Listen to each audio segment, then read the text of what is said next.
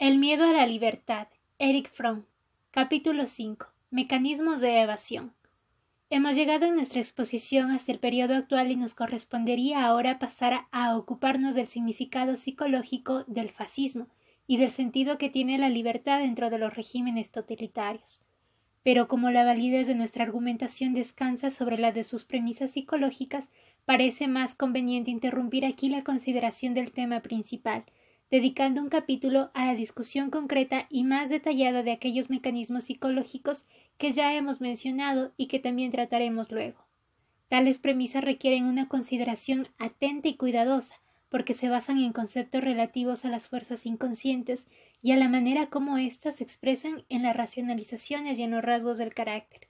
Se trata, como se ve, de conceptos que para muchos lectores resultarán, si no extraños, por lo menos merecedores de alguna elaboración.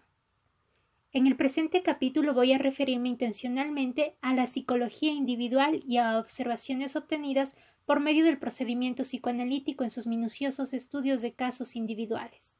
Si bien el psicoanálisis no satisface del todo la norma que durante muchos años constituyó el ideal de la psicología académica, o sea, el de aproximarse lo más posible a los métodos experimentales de las ciencias de la naturaleza, no puede negarse, no obstante, que se trata de un método completamente empírico, fundado en la cuidadosa observación de los pensamientos, sueños y fantasías individuales, luego de haber sido liberados de la censura. Solo una teoría psicológica que utilice el concepto de fuerza inconsciente puede penetrar en las oscuras racionalizaciones que hallamos al analizar al individuo o la cultura.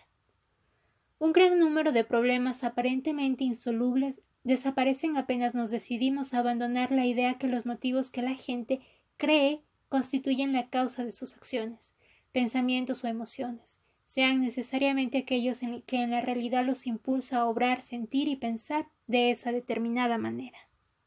Más de un lector u oyente plantearía la cuestión acerca de si los hallazgos debidos a la observación de los individuos pueden aplicarse a la comprensión psicológica de los grupos.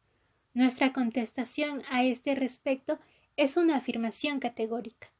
Todo grupo consta de individuos y nada más que de individuos. Por lo tanto, los mecanismos psicológicos cuyo funcionamiento descubrimos en un grupo no pueden ser sino mecanismos que funcionan en los individuos. Al estudiar la psicología individual como base de la comprensión de la psicología social, hacemos algo comparable a la observación microscópica de un objeto. Eso es lo que nos permite descubrir los detalles mismos de los mecanismos psicológicos cuyo funcionamiento en vasta escala podemos observar en el proceso social. Si nuestro análisis de los fenómenos psicológicos no se fundara en el estudio detallado de la conducta individual, el mismo no tendría carácter empírico y por lo tanto carecería de validez. Pero aun cuando se admitiera que el estudio del comportamiento individual posea una importancia tan grande, podría ponerse en duda si el estudio de personas comúnmente clasificadas como neuróticas proporciona algún provecho para la consideración de los problemas de la psicología social. Aquí también creemos que la contestación debe ser afirmativa. Los fenómenos que observamos en los neuróticos no difieren en principio de los que se dan en las personas normales. Son tan solo más acentuados, más definidos y con frecuencia más manifiestos a la autoconciencia del neurótico que a la del individuo normal, quien no advierte ningún problema que requiera estudio. Para aclarar todo esto será conveniente referirnos brevemente al significado de los términos ahora empleados, neurótico y normal o sano. El término normal o sano puede definirse de dos maneras. En primer lugar, desde la perspectiva de una sociedad en funcionamiento, una persona será llamada normal o sana si es capaz de cumplir con el papel social que le toca desempeñar dentro de la sociedad dada. Más concretamente, Ello significa que dicha persona puede trabajar según las pautas requeridas por la sociedad a que pertenece y que además es capaz de participar en la función de reproducción de la sociedad misma, es decir, está en condiciones de fundar una familia. En segundo lugar, desde la perspectiva del individuo, consideramos sana o normal a la persona que alcanza el grado óptimo de expansión y felicidad individuales. Si la estructura de una sociedad dada fuera tal que ofreciera la posibilidad óptima de la felicidad individual, coincidirían ambas perspectivas. Sin embargo, en la mayoría de las sociedades, incluida la nuestra, este caso no se da.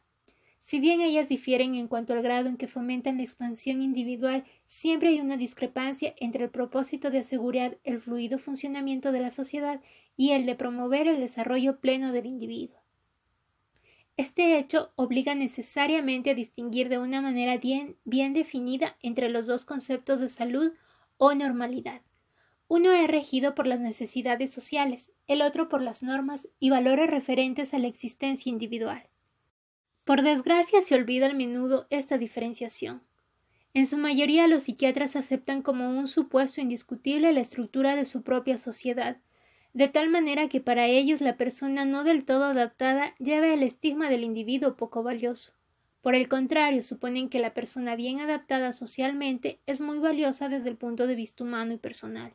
Si diferenciamos los dos conceptos de normal y neurótico de la manera indicada, llegamos a esta conclusión. La persona considerada normal en razón de su buena adaptación, de su eficiencia social, es a menudo menos sana que la neurótica, cuando se juzga según una escala de valores humanos. Frecuentemente está bien adaptada tan solo porque se ha despojado de su yo con el fin de transformarse en mayor o menor grado, en el tipo de persona que cree se espera socialmente que ella deba ser. De este modo puede haberse perdido por completo la espontaneidad y la verdadera personalidad. Por otra parte, el neurótico puede caracterizarse como alguien que no estuvo dispuesto a someter completamente su yo en esta lucha.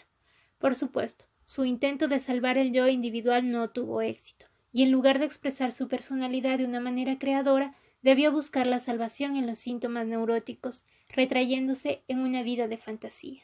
Sin embargo, desde el punto de vista de los valores humanos, este neurótico resulta menos mutilado que este tipo de persona normal que ha perdido toda su personalidad.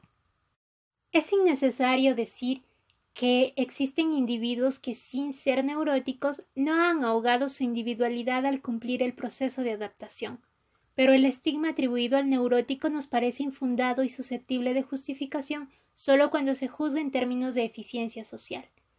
En este último sentido, el término neurótico no puede ser aplicado a toda una sociedad, puesto que ella no podría existir si sus miembros no cumplieran sus funciones sociales. Sin embargo, en el otro sentido, en el de los valores humanos, una sociedad puede ser llamada neurótica cuando sus miembros ven mutilada la expansión de su personalidad. Puesto que el término neurótico sirve con tanta frecuencia para indicar la carencia de funcionamiento social, evitaremos el referirnos a una sociedad en términos de neurosis, prefiriendo en cambio hablar de su carácter favorable o contrario a la felicidad humana y a la autorrealización de la personalidad. En este capítulo discutiremos los mecanismos de evasión que resultan de la inseguridad del individuo aislado. Una vez que hayan sido cortados los vínculos primarios que proporcionaban seguridad al individuo, una vez que éste, como entidad completamente separada, debe enfrentar al mundo exterior, se le abren dos distintos caminos para superar el insoportable estado de soledad e impotencia del que forzosamente debe salir. Siguiendo uno de ellos, estará en condiciones de progresar hacia la libertad positiva. Puede establecer espontáneamente su conexión con el mundo en el amor y el trabajo, en la expresión genuina de sus facultades emocionales, sensitivas e intelectuales. De este modo volverá a unirse con la humanidad, con la naturaleza y consigo mismo, sin despojarse de la integridad e independencia de su yo individual. El otro camino que se le ofrece es el de retroceder, abandonar su libertad y tratar de superar la soledad eliminando la brecha que se ha abierto entre su personalidad individual y el mundo. Este segundo camino no consigue nunca volver a unirlo con el ambiente de aquella misma manera en que lo estaba antes de emerger como individuo, puesto que el hecho de su separación ya no puede ser invertido. Es una forma de evadir una situación insoportable que de prolongarse haría imposible su vida. Este camino, por lo tanto, se caracteriza por su aspecto compulsivo, tal como ocurre con los estallidos de terror frente a alguna amenaza. También se distingue por la redención más o menos completa de la individualidad y de la integridad del yo. No se trata así de una solución que conduzca a la felicidad y a la libertad positiva, por el contrario, representa en principio una pauta que puede observarse en todos los fenómenos neuróticos. Mitiga una insoportable angustia y hace posible la vida al evitar el desencadenamiento del pánico en el individuo. Sin embargo, no soluciona el problema subyacente y exige en pago la adopción de un tipo de vida que a menudo se reduce únicamente a actividades de carácter automático o compulsivo. Algunos de tales mecanismos de evasión son de importancia social relativamente reducida. Pueden observarse en grado algo notable únicamente en individuos atacados por trastornos mentales y emocionales de carácter grave.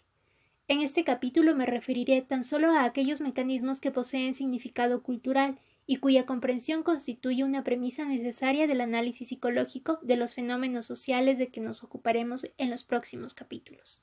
El régimen fascista por un lado y la democracia moderna por el otro. Nota del autor. Desde un punto de vista diferente, K. Horney, con sus tendencias neuróticas, el nuevo psicoanálisis, ha llegado a un concepto que posee cierta similitud con la noción aquí expuesta de mecanismos de evasión. La principal diferencia entre los dos conceptos es esta. Las tendencias neuróticas constituyen las fuerzas motrices en la neurosis individual, mientras los mecanismos de evasión lo son en las personas normales. Además, Horney insiste sobre todo en el hecho de la angustia, mientras yo me refiero principalmente al aislamiento del individuo. Hasta aquí la nota del autor. Mecanismos de evasión. 1. El autoritarismo. El primer mecanismo de evasión de la libertad que trataremos es el que consiste en la tendencia a abandonar la independencia del yo individual propio, para fundirse con algo o alguien exterior a uno mismo, a fin de adquirir la fuerza de que el yo individual carece. O para decirlo con otras palabras, la tendencia a buscar nuevos vínculos secundarios como sustitutos de los primarios que se ha perdido.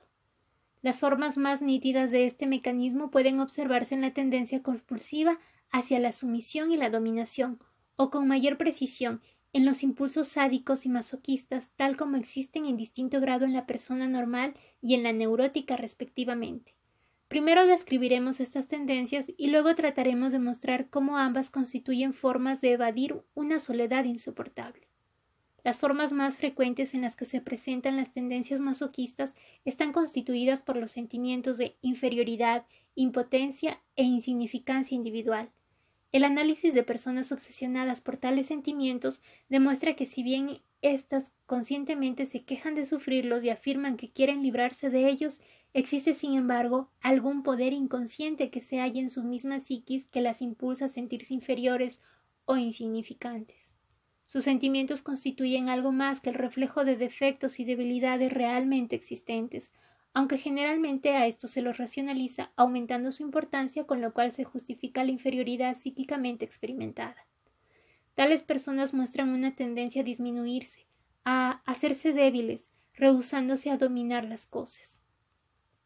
Casi siempre exhiben una dependencia muy marcada con respecto a poderes que les son exteriores, hacia otras personas, instituciones o hacia la naturaleza misma.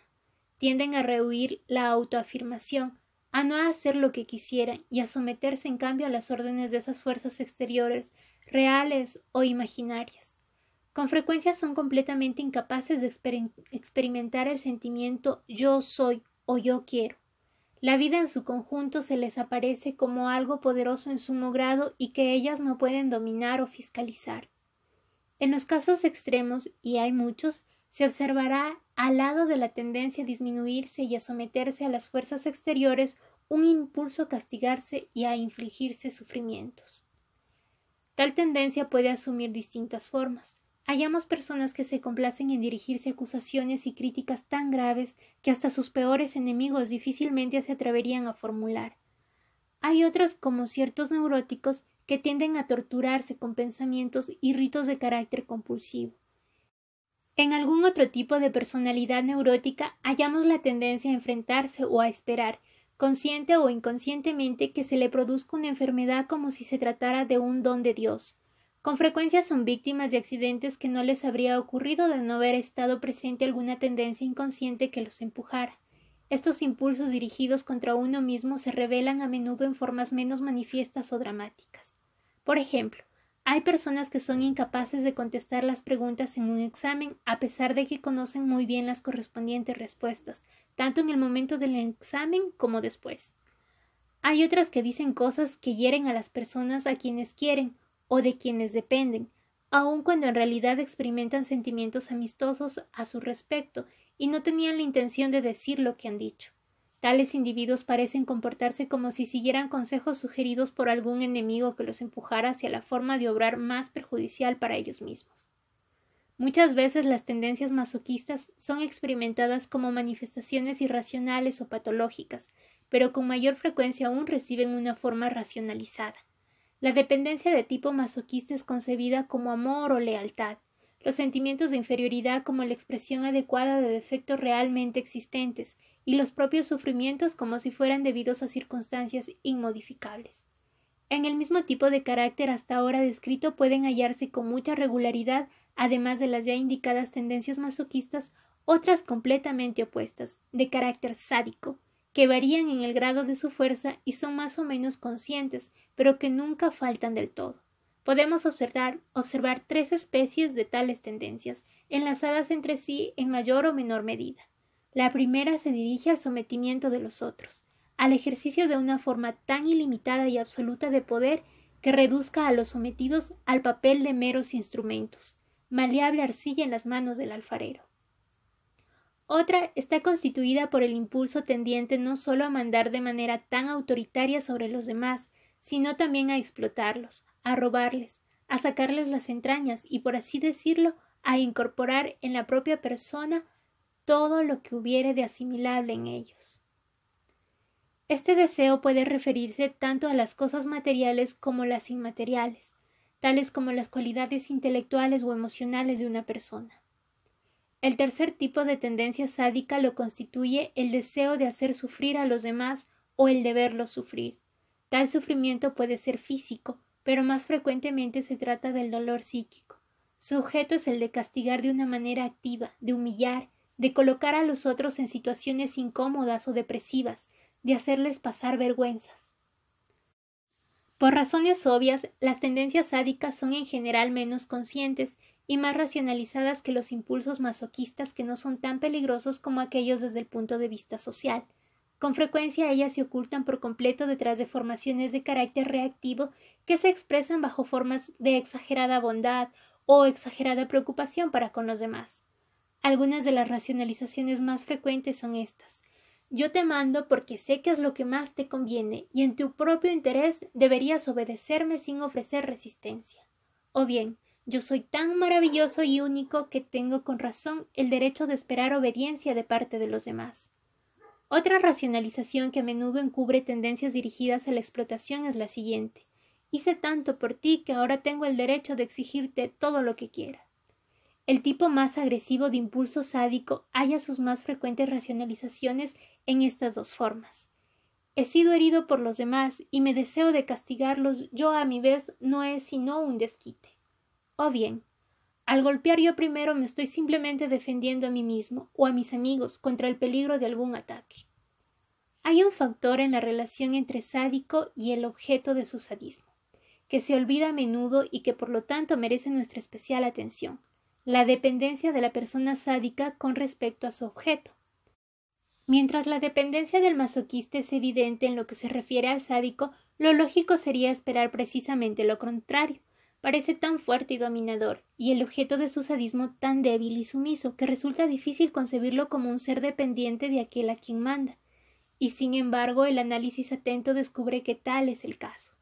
El sádico necesita de la persona sobre la cual domina y la necesita imprescindiblemente, puesto que sus propios sentimientos de fuerza se arraigan en el hecho de que él es el dominador de alguien. Esta dependencia puede permanecer del todo inconsciente. Así, por ejemplo, un hombre puede dispensar a su mujer un trato típicamente sádico y repetirle que es libre de dejar su casa, pues el día que así lo hiciere, él se alegraría mucho.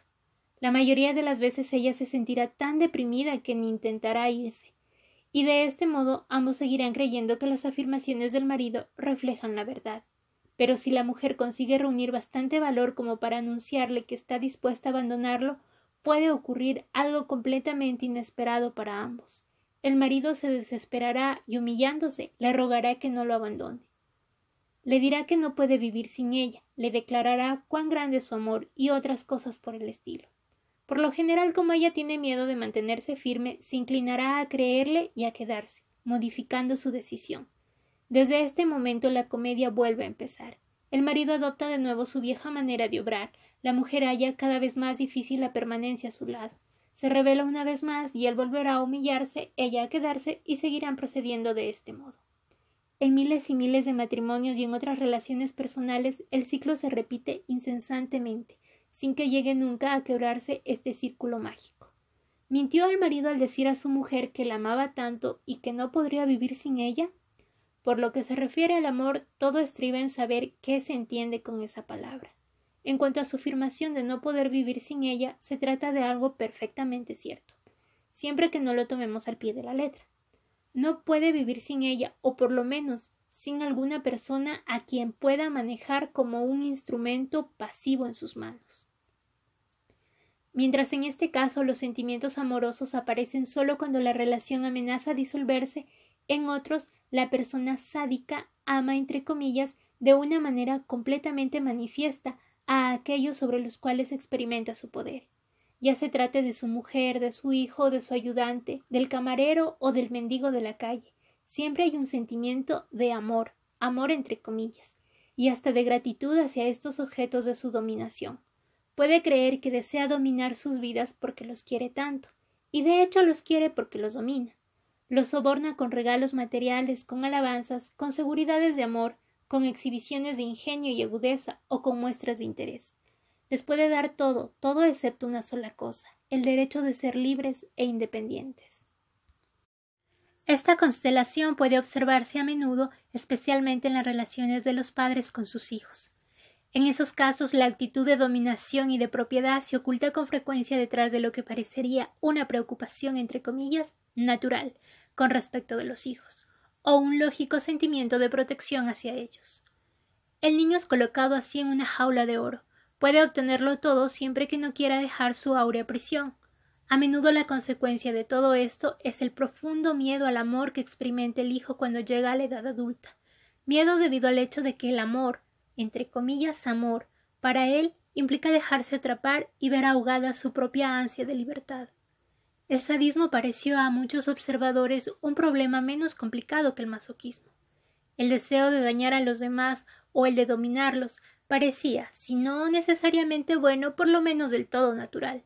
Hobbes postuló como inclinación general de la humanidad la existencia de un perpetuo e incesante deseo de poder que desaparece solamente con la muerte.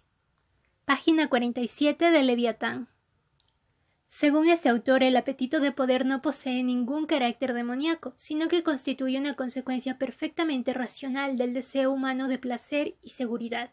De Hobbes a Hitler, quien explica el deseo de dominar como el lógico resultado de la lucha por la supervivencia del más apto, lucha que es de orden biológico, el apetito de poder ha sido entendido como una parte de la naturaleza humana que no ha menester de otra explicación que esta. Sin embargo, los impulsos masoquistas, las tendencias dirigidas en contra del propio yo, parecieron un enigma. ¿Cómo comprender por qué ciertas personas no solamente quieren disminuirse, hacerse más débiles y castigarse, sino que también gozan con ello? ¿No contradice el fenómeno del masoquismo toda nuestra concepción de la psiquis humana dirigida hacia el placer y la autoconservación? ¿Cómo explicar que algunos hombres se dejan atraer precisamente por aquello que todos nosotros nos esforzamos en evitar, el dolor y el sufrimiento, y hasta tiendan a incurrir en hechos que lo provoquen. Existe un fenómeno, sin embargo, que prueba que el sufrimiento y la debilidad pueden constituir el fin del esfuerzo humano, la perversión masoquista. En este caso, nos es dado observar a personas que, con plena autoconciencia, desean sufrir de una manera u otra y gozan con su sufrimiento. En la perversión masoquista, el individuo experimenta una excitación sexual al sufrir el dolor que otra persona le inflige. Pero no es esta la única forma. Con frecuencia no se busca el sufrimiento real, sino la excitación y la satisfacción que surgen del sentirse físicamente sometido, débil y desamparado. Otras veces todo lo que se desea en la perversión masoquista es sentirse moralmente débil, ser tratado como un chiquillo o ser reprendido o humillado en distintas formas. En la perversión sádica hallamos en cambio la satisfacción derivante del acto de infligir tales sufrimientos, castigar físicamente a otras personas, atarlas con cuerdas o cadenas, humillarlas por la acción o la palabra. La perversión masoquista con su goce consciente e intencional del dolor y la humillación atrajo el interés de los psicólogos antes que el carácter masoquista o masoquismo moral. Por otra parte, cada vez fue reconociéndose más el estrecho parecido existente entre las tendencias masoquistas descritas y la perversión sexual, viéndose claramente que ambos tipos de masoquismo son esencialmente un mismo fenómeno. Algunos psicólogos formularon la suposición de que, puesto que existen personas que desean someterse y sufrir, tiene que haber algún instinto que explique tal impulso. Hubo sociólogos como Bierkent, por ejemplo, que llegaron a las mismas conclusiones. El primer intento para establecer una explicación teórica más completa se debe a Freud, Originariamente este autor pensaba que el sadomasoquismo es fundamentalmente un fenómeno sexual. Después de haber observado la presencia de impulsos sadomasoquistas en niños muy pequeños, supuso que el sadomasoquismo es un impulso parcial que aparece regularmente en el desarrollo del instinto sexual. Creía que las tendencias sadomasoquistas de los adultos son debidas a la fijación del desarrollo psicosexual del individuo en una fase infantil o bien en la regresión hacia ella. Posteriormente, Freud prestó una creciente atención a la importancia de aquellos fenómenos que él mismo denominara masoquismo moral, es decir, la tendencia hacia el sufrimiento psíquico y no físico. También subrayó el hecho de que los impulsos sádicos y masoquistas se hallaran siempre juntos, a pesar de su aparente contradicción. Como quiera que sea, este autor modificó su explicación teórica de los fenómenos masoquistas, dando por supuesta la existencia de un impulso de carácter biológico dirigido a la destrucción y susceptible de orientarse tanto contra los otros como contra uno mismo. Freud sugirió que el masoquismo es esencialmente el producto del llamado instinto de muerte. Además agregó que tal instinto imposible de observarse directamente se mezcla con el instinto sexual y en esta fusión aparece como masoquismo, cuando se dirige en contra de la propia persona, o como sadismo si se dirige en contra de los demás.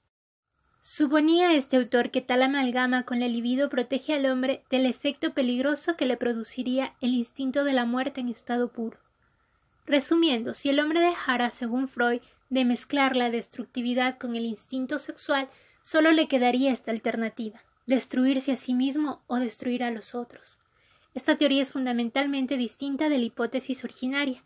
Mientras en este el sadomasoquismo era sobre todo un fenómeno sexual, en la nueva teoría se trata esencialmente de un hecho ajeno a la sexualidad, puesto que el factor sexual es debido tan solo a la fusión del instinto de la muerte con la libido. Mientras Freud durante muchos años no prestó mucha atención al fenómeno de la agresión de carácter no sexual, Alfred Adler situó las tendencias que nos ocupamos en el centro de su sistema. Pero este autor no las denomina sadomasoquismo, sino sentimientos de inferioridad y voluntad de poder. Adler ve solamente el aspecto racional de tales fenómenos. Mientras nosotros hablamos de tendencias irracionales a disminuirse o hacerse pequeño, él considera los sentimientos de inferioridad en tanto constituyen una reacción adecuada frente a una inferioridad objetivamente existente, como por ejemplo los defectos orgánicos o la situación genérica de desvalidez del niño. Y mientras nosotros consideramos la voluntad de poder como la expresión de un impulso irracional de dominación sobre los demás, Adler se refiere exclusivamente a su aspecto racional y habla de tal tendencia como de una reacción adecuada que tiene la función de proteger al individuo contra los peligros que surgen de su inseguridad e inferioridad. Como siempre, Adler no alcanza a ver más allá de las motivaciones racionales y utilitarias de la conducta humana, y si bien ha proporcionado un valioso punto de vista en el intrincado problema del obrar se queda en la superficie sin descender nunca al abismo de los impulsos irracionales, como lo ha hecho Freud. Puntos distintos de vista al de Freud fueron presentados en la literatura psicoanalítica por Wilhelm Reich, Karen Horney y por mí. Nota del autor. Los escritos de Wilhelm Reich al respecto se pueden encontrar en Análisis de Carácter de 1933. Los de Karen Horney en el Nuevo Psicoanálisis y los hechos por mí se pueden encontrar en Psicología de la Autoridad. 1936. Fin de la nota del autor. Si bien la teoría de Reich se basa en el concepto freudiano originario de la libido, este autor señala que el fin último del masoquista consiste en la búsqueda del placer y que el dolor en que incurre es un subproducto y no un fin en sí mismo. Horney fue la primera en reconocer la función fundamental de los impulsos masoquistas en la personalidad neurótica, en proporcionar una descripción completa y detallada de los rasgos del carácter masoquista y en explicarlos teóricamente como el resultado de la estructura total del carácter. En sus escritos, como en los míos, no se admite que los rasgos del carácter masoquista estén arraigados en la perversión sexual, sino que se considera esta como la expresión sexual de tendencias psíquicas que surgen de un tipo peculiar de estructura del carácter. Llego ahora a la cuestión principal. ¿Cuál es la raíz de la perversión masoquista y de los rasgos del carácter masoquista respectivamente? Además, ¿cuál es la raíz común de las tendencias masoquistas y de las sádicas? La dirección en la que hay que buscar la respuesta ya la hemos sugerido al comienzo de este capítulo. Tanto los impulsos masoquistas como los sádicos tienden a ayudar al individuo a evadirse de su insoportable sensación de soledad e impotencia. El psicoanálisis, así como otras observaciones empíricas efectuadas sobre individuos masoquistas, proporciona una prueba amplia que sería imposible citar aquí sin trascender los límites prefijados de la obra, de que estas personas se sienten penetradas de un intenso terror derivado de su soledad e insignificancia. A menudo este sentimiento no es consciente, otras veces se oculta detrás de formaciones compensatorias que exaltan su propia perfección y excelencia. Sin embargo, si la observación penetra profundamente en la dinámica psíquica inconsciente de tales personas, el sentimiento que había sido ocultado no dejará de revelársenos. El problema descubre que es libre en el sentido negativo, es decir, que se halla solo con su yo frente a un mundo extraño y hostil. En tal situación, para citar una descripción significativa de vida a Dostoyevsky en Los hermanos Karamazov, no tiene necesidad más urgente de la de hallar a alguien al cual puede entregar tan pronto como le sea posible ese don de la libertad con que él, pobre criatura, tuvo la desgracia de nacer. El individuo aterrorizado busca algo o alguien a quien encadenar su yo. No puede soportar más tiempo su propia libre personalidad se esfuerza frenéticamente para librarse de ella y volver a sentirse seguro una vez más eliminando esa carga, el yo.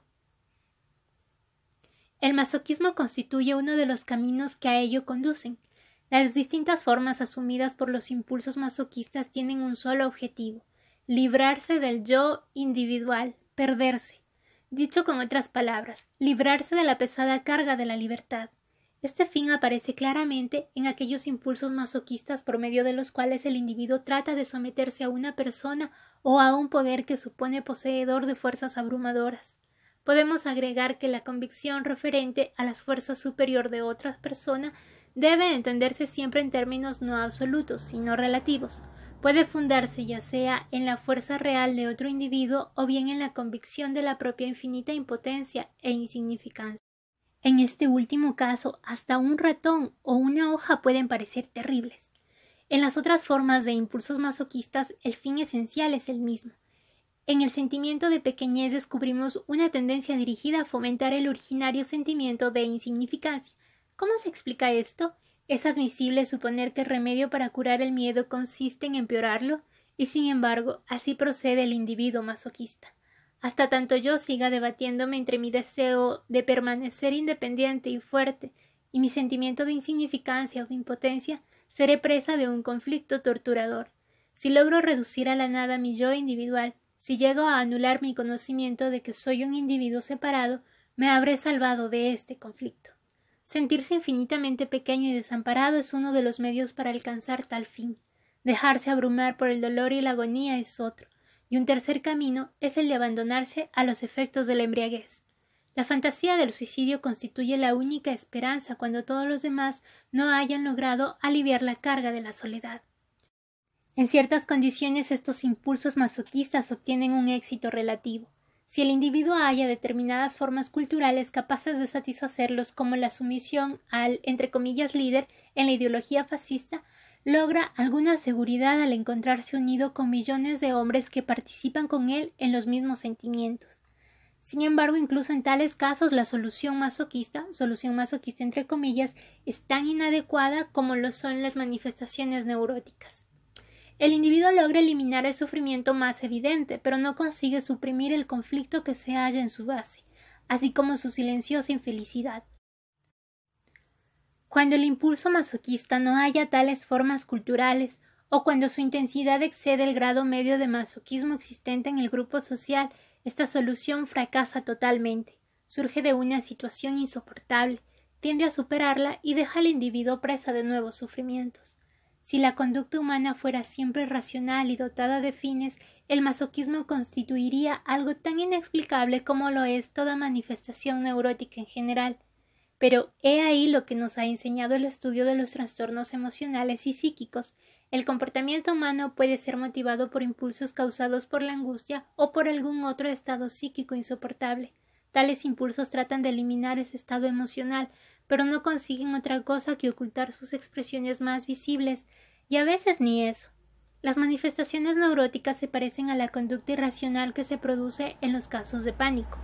Así, un hombre aprisionado por el fuego lanza gritos por la ventana de su habitación en demanda de auxilio, olvidándose por completo que nadie lo oye y que todavía podría escapar por la escalera, que dentro de pocos instantes también será presa de las llamas.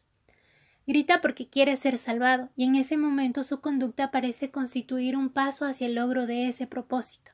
Sin embargo, ella lo conducirá a la catástrofe final. Del mismo modo, los impulsos masoquistas tienen por causa el deseo de librarse del yo individual, con todos sus defectos, conflictos, dudas, riesgos e insoportable soledad, pero logran eliminar únicamente la forma más evidente del sufrimiento y hasta pueden conducir a dolores más intensos.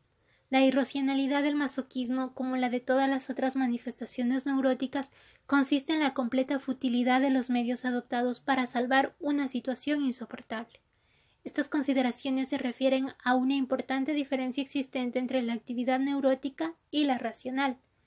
En esta los resultados corresponden a los fines de la actividad misma, pues se obra para obtener determinadas consecuencias. En los impulsos neuróticos, en cambio, la acción se debe a una compulsión que posee esencialmente un carácter negativo, escapar de una situación insoportable. El impulso tiende hacia objetivos que constituyen una solución puramente ficticia. De hecho, el resultado de la acción es lo contrario de lo que el individuo se propone. La necesidad de liberarse de un sentimiento insoportable es tan fuerte que le es imposible elegir una línea de conducta que constituya una solución real. Con respecto al masoquismo, la consecuencia del proceso señalado es que el individuo se siente dominado por un sentimiento insoportable de soledad e insignificancia. Intenta entonces superarlo despojándose de su yo como entidad psicológica y no fisiológica, y el medio de que se vale es el de empequeñecerse, sufrir, sentirse reducido a la más completa insignificancia.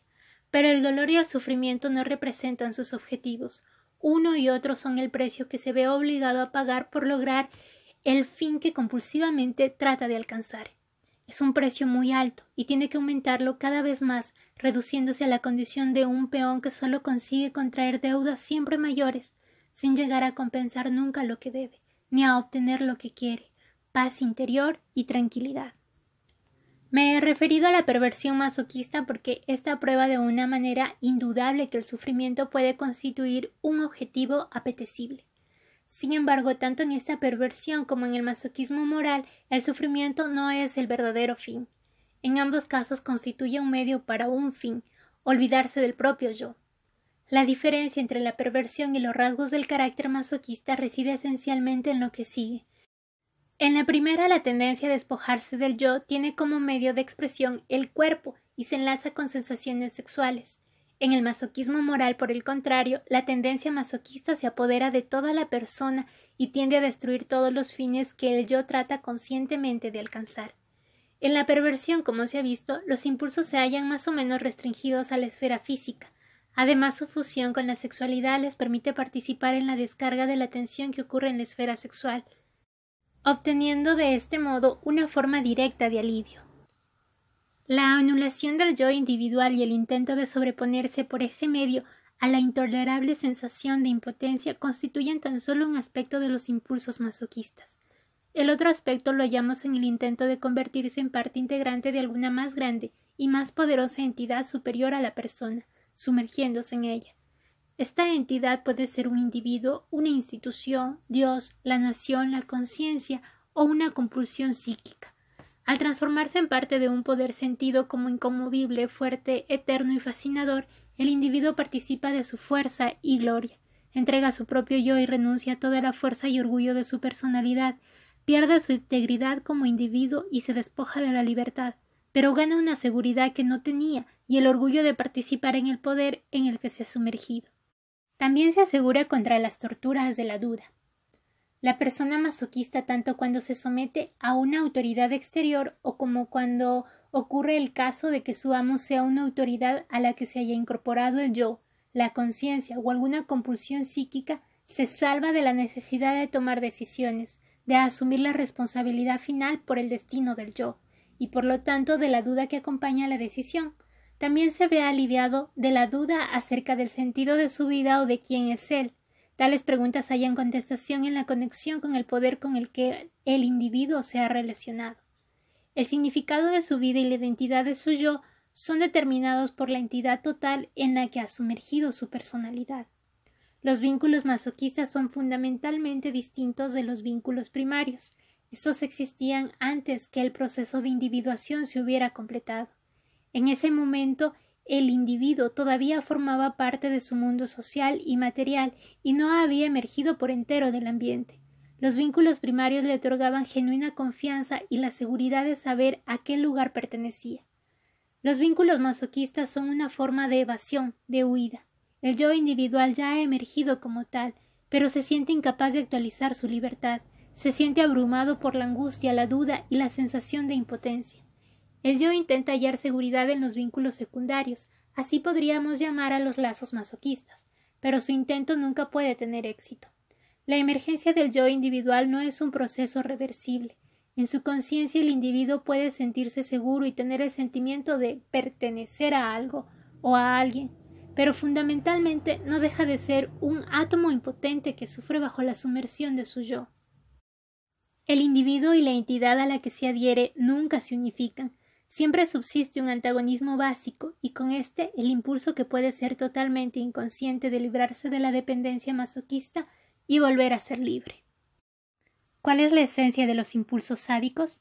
Tampoco aquí consiste ella en el deseo de infligir dolor a los demás, Todas las distintas formas de sadismo que nos es dado observar pueden ser reducidas a un impulso fundamental único, a saber, el de lograr el dominio completo sobre otra persona, el de hacer de ésta un objeto pasivo de la voluntad propia, de constituirse en su dueño absoluto, su Dios, de hacer de ella todo lo que se quiera. Humillar y esclavizar no son más que medios dirigidos a ese fin, y el medio más radical es el de causar sufrimientos a la otra persona, puesto que no existe mayor poder que el de infligir dolor, el de obligar a los demás a sufrir sin darles la posibilidad de defenderse. El placer de ejercer el más completo dominio sobre otro individuo u otros objetos animados constituye la esencia misma del impulso sádico. Nota del autor. El marqués de Sade en el fragmento de Juliette sostenía que la dominación es la esencia del sadismo. Decía No es placer lo que usted quiere causar en su compañera, sino una impresión que usted desea producir en ella. La de dolor es mucho más fuerte que la de placer. Uno se da cuenta de ello, la emplea y alcanza satisfacción. Gorer, en su análisis de la obra de Sade, define al sadismo como como el placer producido por la observación de modificaciones del mundo exterior debidas a la acción del observador. La definición de Gorer se acerca más a mi punto de vista sobre el sadismo que la de los otros psicólogos. Pienso, sin embargo, que este autor está equivocado al identificar el sadismo con el placer de dominar o con la facultad creadora. La dominación sádica se caracteriza por el deseo de hacer del objeto un instrumento pasivo en las manos de la persona sádica, mientras que la normal goza del ejercicio de su influencia sobre los demás, respetando su integridad y fundándose en un sentimiento de igualdad. En la definición de Gorer, el sadismo pierde su característica específica y se identifica con la facultad creadora. Fin de la nota del autor. Parecería que esta tendencia a transformarse en el dueño absoluto de otra persona constituyera exactamente lo opuesto de la tendencia masoquista, y ha de resultar extraño que ambos impulsos se hallen tan estrechamente ligados. No cabe duda de que, con respecto a las consecuencias prácticas, el deseo de ser dependiente o de sufrir es el opuesto al de dominar o de infligir sufrimiento a los demás. Desde el punto de vista psicológico, sin embargo, ambas tendencias constituyen el resultado de una necesidad básica única que surge de la incapacidad de soportar el aislamiento y la debilidad del propio yo. Propongo denominar simbiosis al fin que constituye la base común del sadismo y el masoquismo. La simbiosis en este sentido psicológico se refiere a la unión de un yo individual con otro o cualquier otro poder exterior al propio yo, unión capaz de hacer perder a cada uno la integridad de su personalidad, haciéndolos recíprocamente dependientes. El sádico necesita de su objeto del mismo modo que el masoquista no puede prescindir del suyo. La única diferencia está en que, en lugar de buscar la seguridad dejándose absorber, es él quien absorbe a algún otro. En ambos casos se pierde la integridad del yo. En el primero me pierdo al disolverme en el seno de un poder exterior. En el segundo me extiendo al admitir a otro ser como parte de mi persona, y si bien aumento de fuerzas, ya no existo como ser independiente. Es siempre la incapacidad de resistir a la soledad del propio yo individual la que conduce al impulso de entrar en relación simbiótica con algún otro. De todo esto resulta evidente por qué las tendencias masoquistas y sádicas se hallan siempre mezcladas. Aunque en la superficie parezcan contradictorias, en su esencia se encuentran arraigadas en la misma necesidad básica.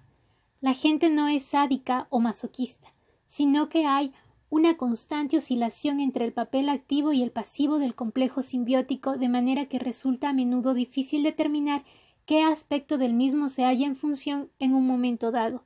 En ambos casos se pierde la individualidad y la libertad.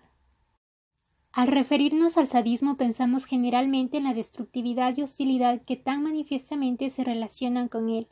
Por cierto que nunca deja de observarse, en grado mayor o menor, una conexión entre la destructividad y las tendencias sádicas. Pero ello puede también afirmarse con respecto al masoquismo. Todo análisis de los rasgos masoquistas pueden poner en evidencia tal hostilidad. La diferencia principal parece residir en el hecho de que en el sadismo esta hostilidad es generalmente más consciente y se expresa en la acción de una manera más directa, mientras que en el masoquismo la hostilidad es en gran parte inconsciente y busca una expresión indirecta.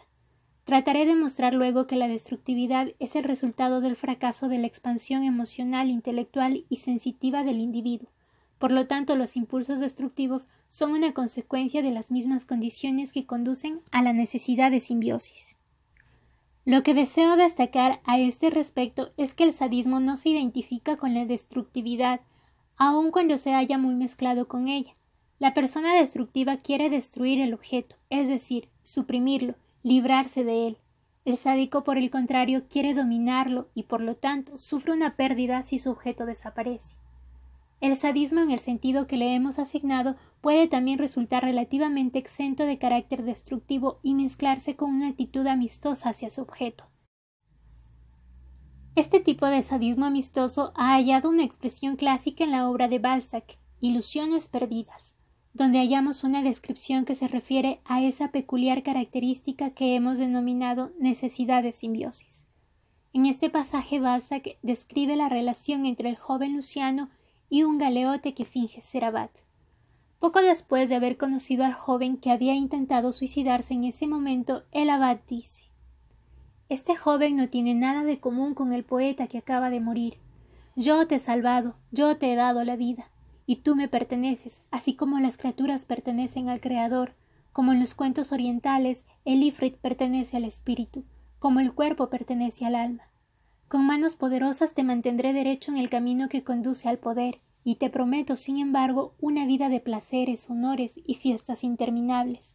Nunca te faltará dinero, serás brillante, mientras que yo, agachado en el sucio trabajo de levantarte, aseguraré el brillante edificio de tu éxito.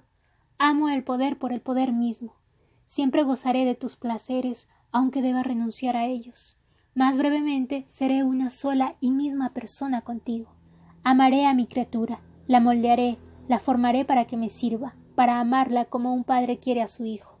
Pasearé a tu lado en el Tilbury, querido muchacho. Me deleitaré de tus éxitos con las mujeres. Podré decir yo soy este hermoso joven, yo he creado a este marqués de Rubempré, y lo he colocado en la aristocracia. Su éxito es obra mía.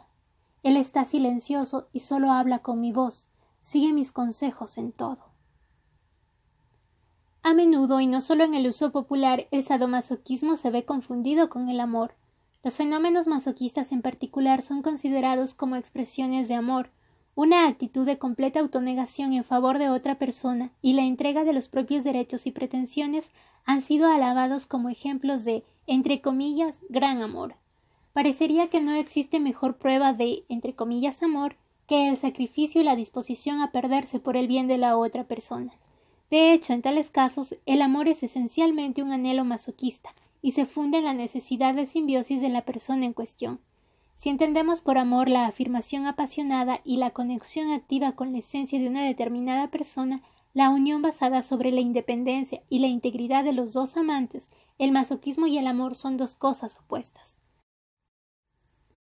El amor se funda en la igualdad y la libertad. Si se basara en la subordinación y la pérdida de la integridad de una de las dos partes, no sería más que dependencia masoquista, cualquiera fuera la forma de racionalización adoptada. También el sadismo aparece con frecuencia bajo la apariencia de amor. Mandar sobre otra persona cuando se pueda afirmar el derecho de hacerlo por su bien aparece muchas veces bajo el aspecto de amor, pero el factor esencial es el goce nacido del ejercicio del dominio. En este punto surgirá, por cierto, una pregunta por parte del lector o del oyente.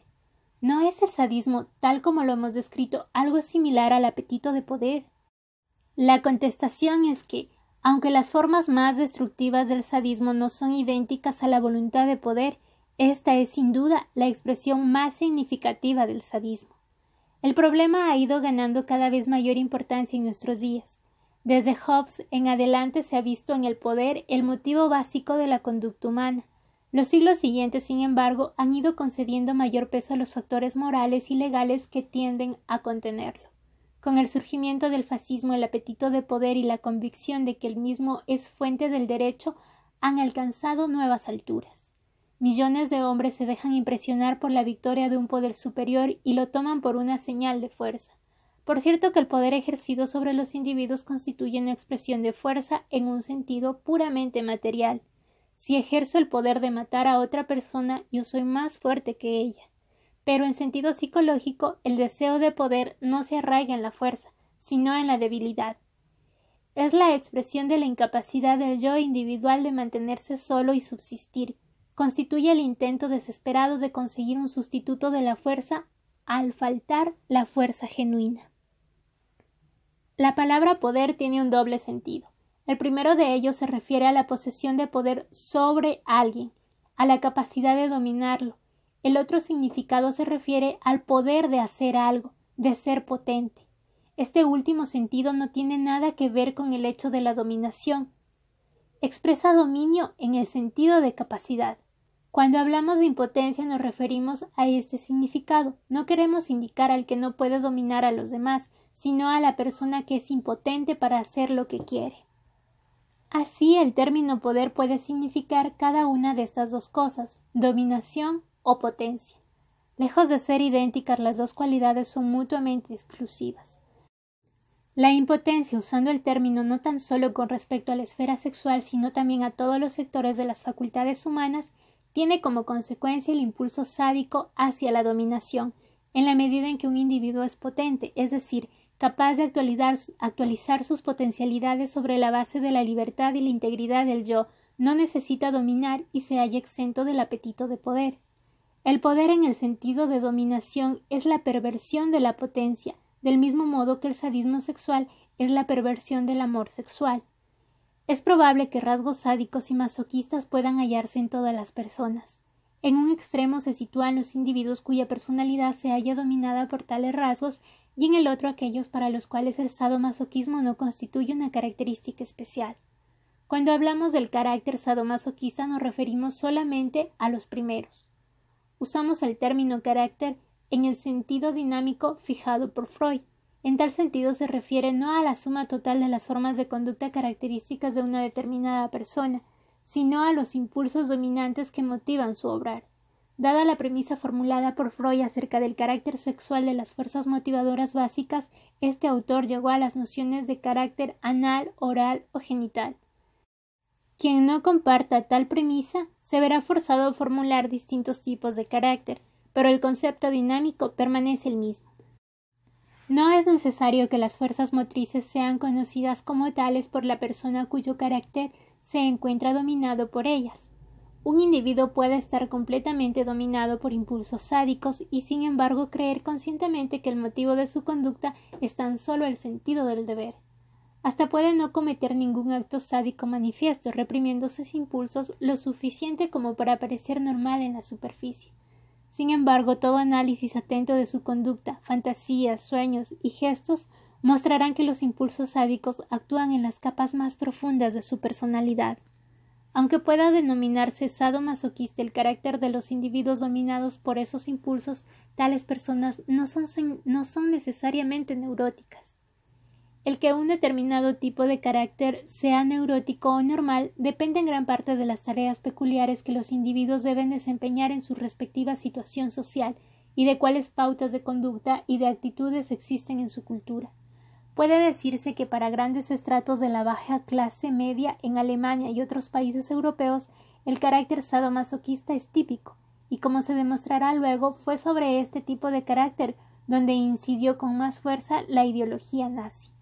Dado que el término sadomasoquista se haya asociado con la noción de perversión y de neurosis, emplearé la expresión carácter autoritario para referirme al tipo de carácter de que se está hablando, y ello de especial manera cuando se trate de individuos normales. Esta terminología se justifica por cuanto la persona sadomasoquista se caracteriza siempre por su peculiar actitud hacia la autoridad. La admira y tiende a someterse a ella pero al mismo tiempo desea ser ella misma una autoridad y poder someter a los demás. Hay otra razón más para elegir este término. El sistema fascista se llamó a sí mismo autoritario a causa de la función dominante de la autoridad en su estructura política y social. De este modo, con la expresión carácter autoritario destacamos que nos estamos refiriendo a la estructura de la personalidad que constituyó la base humana del fascismo. Antes de proseguir la discusión sobre el carácter autoritario, es menester aclarar algo el término autoridad. Esta no es una cualidad poseída por una persona en el mismo sentido que la propiedad de bienes o de dotes físicas. La autoridad se refiere a una relación interpersonal en la que una persona se considera superior a otra.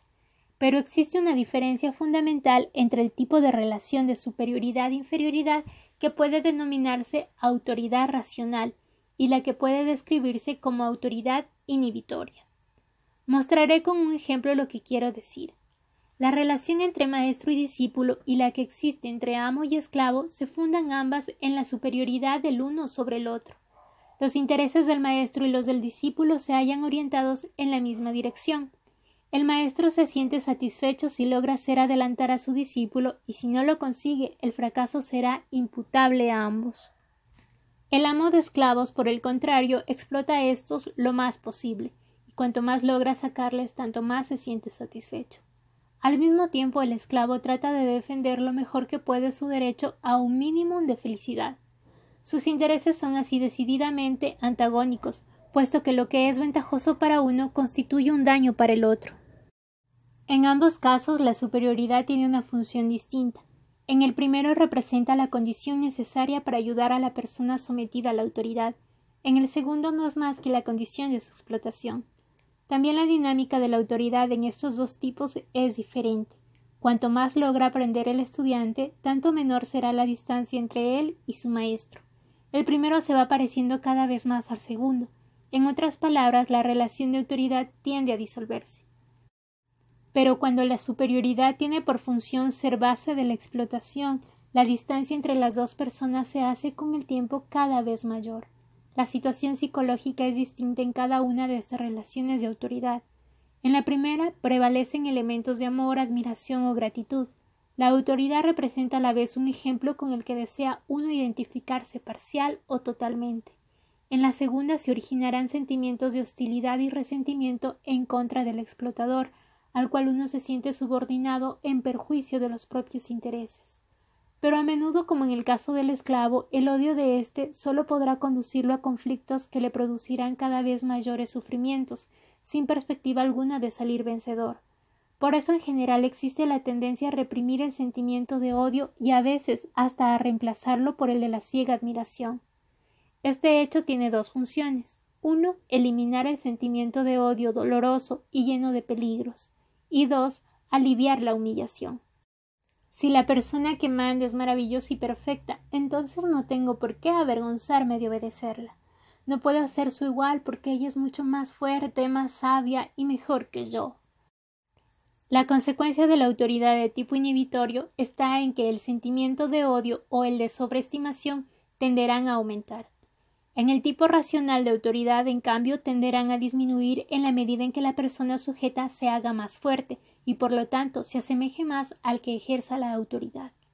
La diferencia entre la autoridad racional y la inhibitoria es tan solo de carácter relativo. Hasta en la relación entre esclavo y amo existen elementos ventajosos para el esclavo. Este obtiene el mínimo de alimentos y de protección que por lo menos lo capacita para trabajar en beneficio del patrón. Por otra parte, la ausencia completa de antagonismo entre discípulo y maestro solo puede hallarse en una relación ideal. Hay muchas gradaciones entre estos dos casos extremos, tal como ocurre, por ejemplo, en la relación entre el obrero industrial y el capataz, o el hijo del campesino y su padre, o el ama de casa y su marido. Sin embargo, aun cuando de hecho los dos tipos de autoridad se hallen mezclados, siempre subsiste una diferencia esencial entre ellos, y el análisis de una concreta relación de autoridad debería revelar en todos los casos la importancia respectiva que le corresponde a cada uno de los dos. La autoridad no es necesariamente una persona o una institución que ordena esto o permite aquello. Además de este tipo de autoridad que podríamos llamar exterior, puede aparecer otra de carácter interno, bajo el nombre de deber, conciencia o superyo.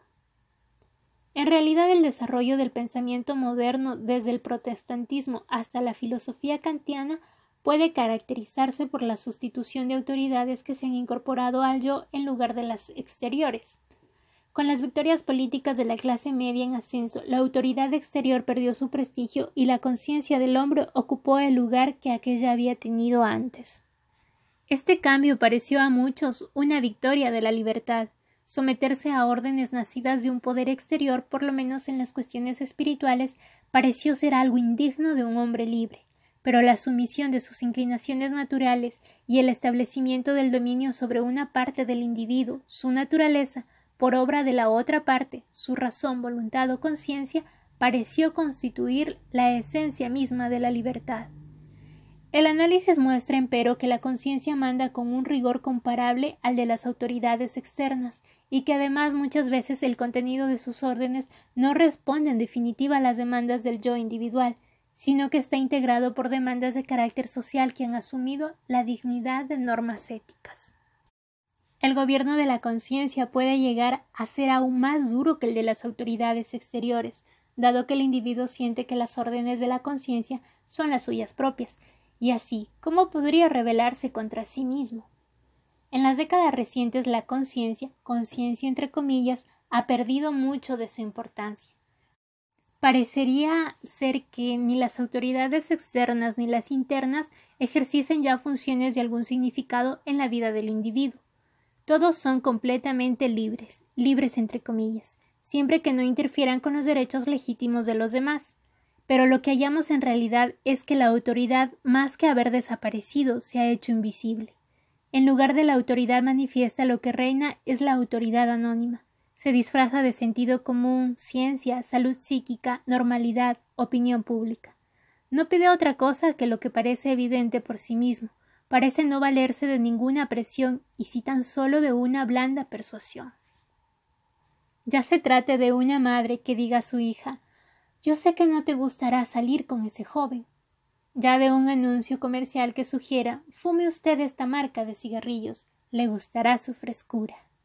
Siempre nos hallamos en presencia de la misma atmósfera de sutil sugestión que envuelve toda la vida social la autoridad anónima es mucho más efectiva que la autoridad manifiesta, puesto que no se llega a sospechar jamás la existencia de las órdenes que de ella emanan y que deben ser cumplidas.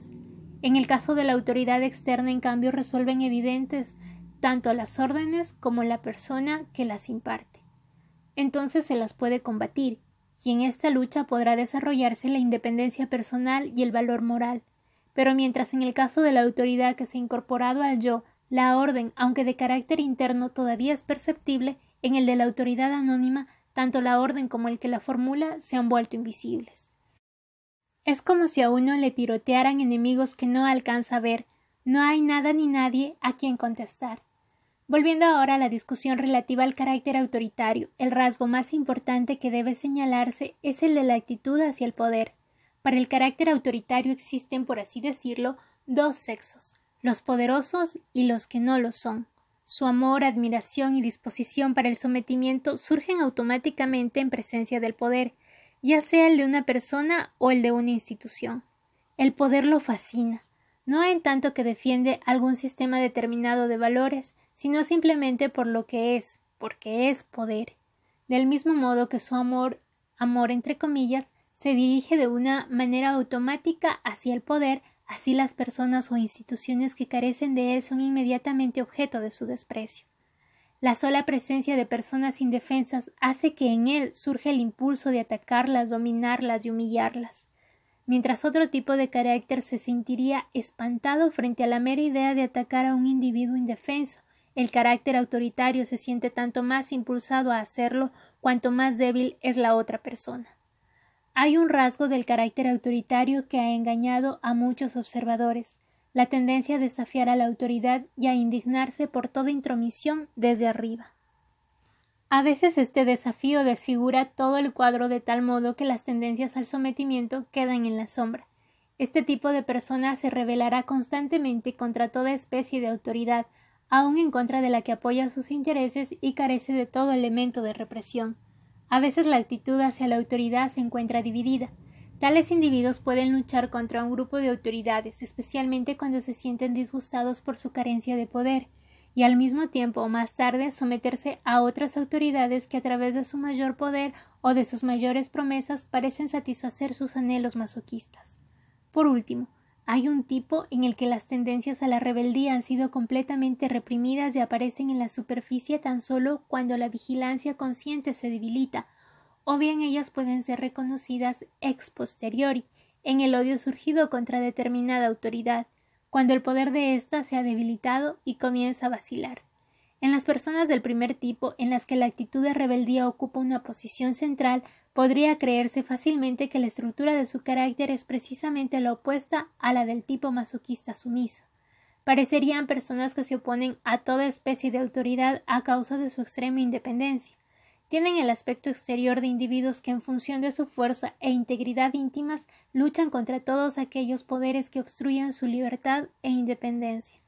Sin embargo, esencialmente la lucha del carácter autoritario contra la autoridad no es más que desafío. Es un intento de afirmarse y sobreponerse a sus propios sentimientos de impotencia, combatiéndolos, sin que por eso desaparezca el anhelo de sumisión, ya sea consciente o inconscientemente. El carácter autoritario no es nunca revolucionario, preferiría llamarlo rebelde. Hay muchos individuos y numerosos movimientos políticos que confunden al observador superficial a causa de lo que parecería un cambio inexplicable desde el izquierdismo a una forma extrema de autoritarismo. Nota del traductor. Traducimos con la palabra izquierdismo el término inglés radicalismo. Fin de la nota del traductor. Desde el punto de vista psicológico se trata de rebeldes típicos, rebeldes entre comillas. La actitud del carácter totalitario hacia la vida, su filosofía toda, se hallan determinadas por sus impulsos emocionales. El carácter autoritario prefiere aquellas condiciones que limitan la libertad humana, gusta de someterse al destino, y lo que éste ha de significar para él depende de la situación social que le toque en suerte. El soldado puede significar la voluntad o el capricho de sus superiores, a los que se somete de buena gana. Para el pequeño comerciante, su destino es producto de las leyes económicas. Prosperidad y crisis no constituyen para él fenómenos sociales que puedan ser cambiados por la actividad humana, sino la expresión de un poder superior al que es menester someterse. Para los que se hallan en la cumbre de la pirámide social las cosas no son esencialmente distintas. La diferencia reside tan solo en la magnitud y generalidad del poder al que tiene uno que obedecer, y no en el sentimiento de dependencia como tal.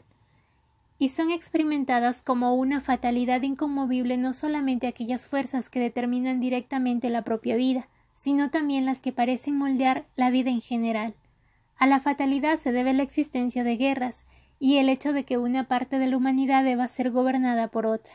Es la fatalidad la que establece un grado perenne de sufrimiento que no podrá disminuir jamás. La fatalidad puede asumir una forma racionalizada, como ley natural o destino humano, desde el punto de vista filosófico, como voluntad divina hablando en términos religiosos y como deber en términos éticos. Para el carácter autoritario se trata siempre de un poder superior, exterior al individuo y con respecto al cual éste no tiene más que remedio que someterse.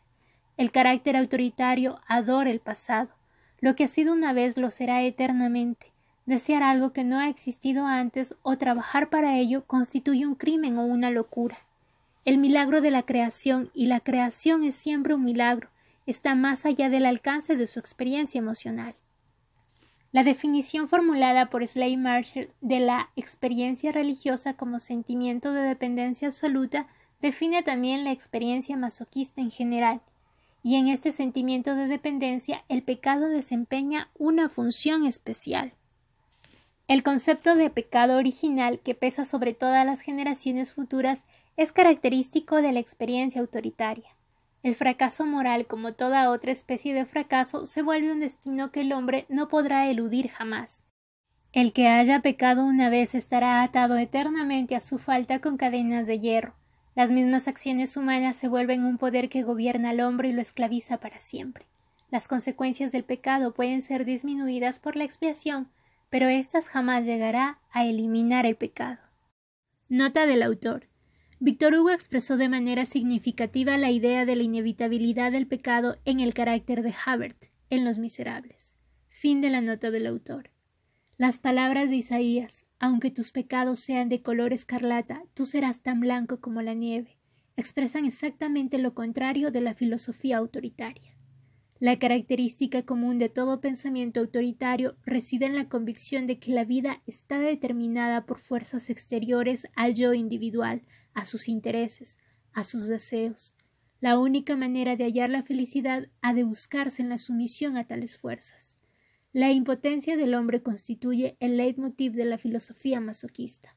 Moller van der Broek, uno de los padres ideológicos del nazismo, ha expresado este pensamiento con mucha claridad. Escribe Los conservadores prefieren creer en la catástrofe, en la impotencia del hombre para evitarla, en su necesidad y en el terrible desengaño que sufrirá el iluso optimista. En los escritos de Hitler hallaremos otros ejemplos de esta misma mentalidad. El carácter autoritario no carece de actividad, valor o fe, pero estas cualidades significan para él algo completamente distinto de lo que representan para las personas que no anhelan la sumisión. Porque la actividad del carácter autoritario se arraiga en el sentimiento básico de impotencia, sentimiento que trata de anular por medio de la actividad, esta no significa otra cosa que la necesidad de obrar en nombre de algo superior al propio yo. Esta entidad superior puede ser Dios, el pasado, la naturaleza, el deber, pero nunca el futuro, lo que está por nacer, lo que no tiene poder o la vida como tal. El carácter autoritario extrae la fuerza para obrar apoyándose en ese poder superior. Este no puede nunca ser atacado o cambiado. Para él la debilidad es siempre un signo inconfundible de culpabilidad e inferioridad, y si el ser en el cual cree el carácter autoritario da señales de debilitarse, su amor y respeto se transforman en odio y desprecio. Carece así de potencia ofensiva, capaz de atacar al poder constituido sin estar sometido al mismo tiempo a otro poder más fuerte.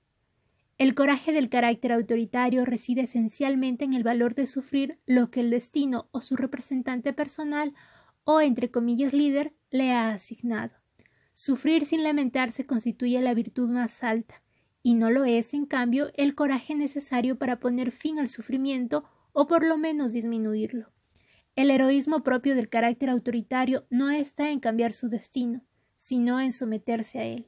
Mantiene su fe en la autoridad hasta tanto ésta sea fuerte y siga dictando órdenes.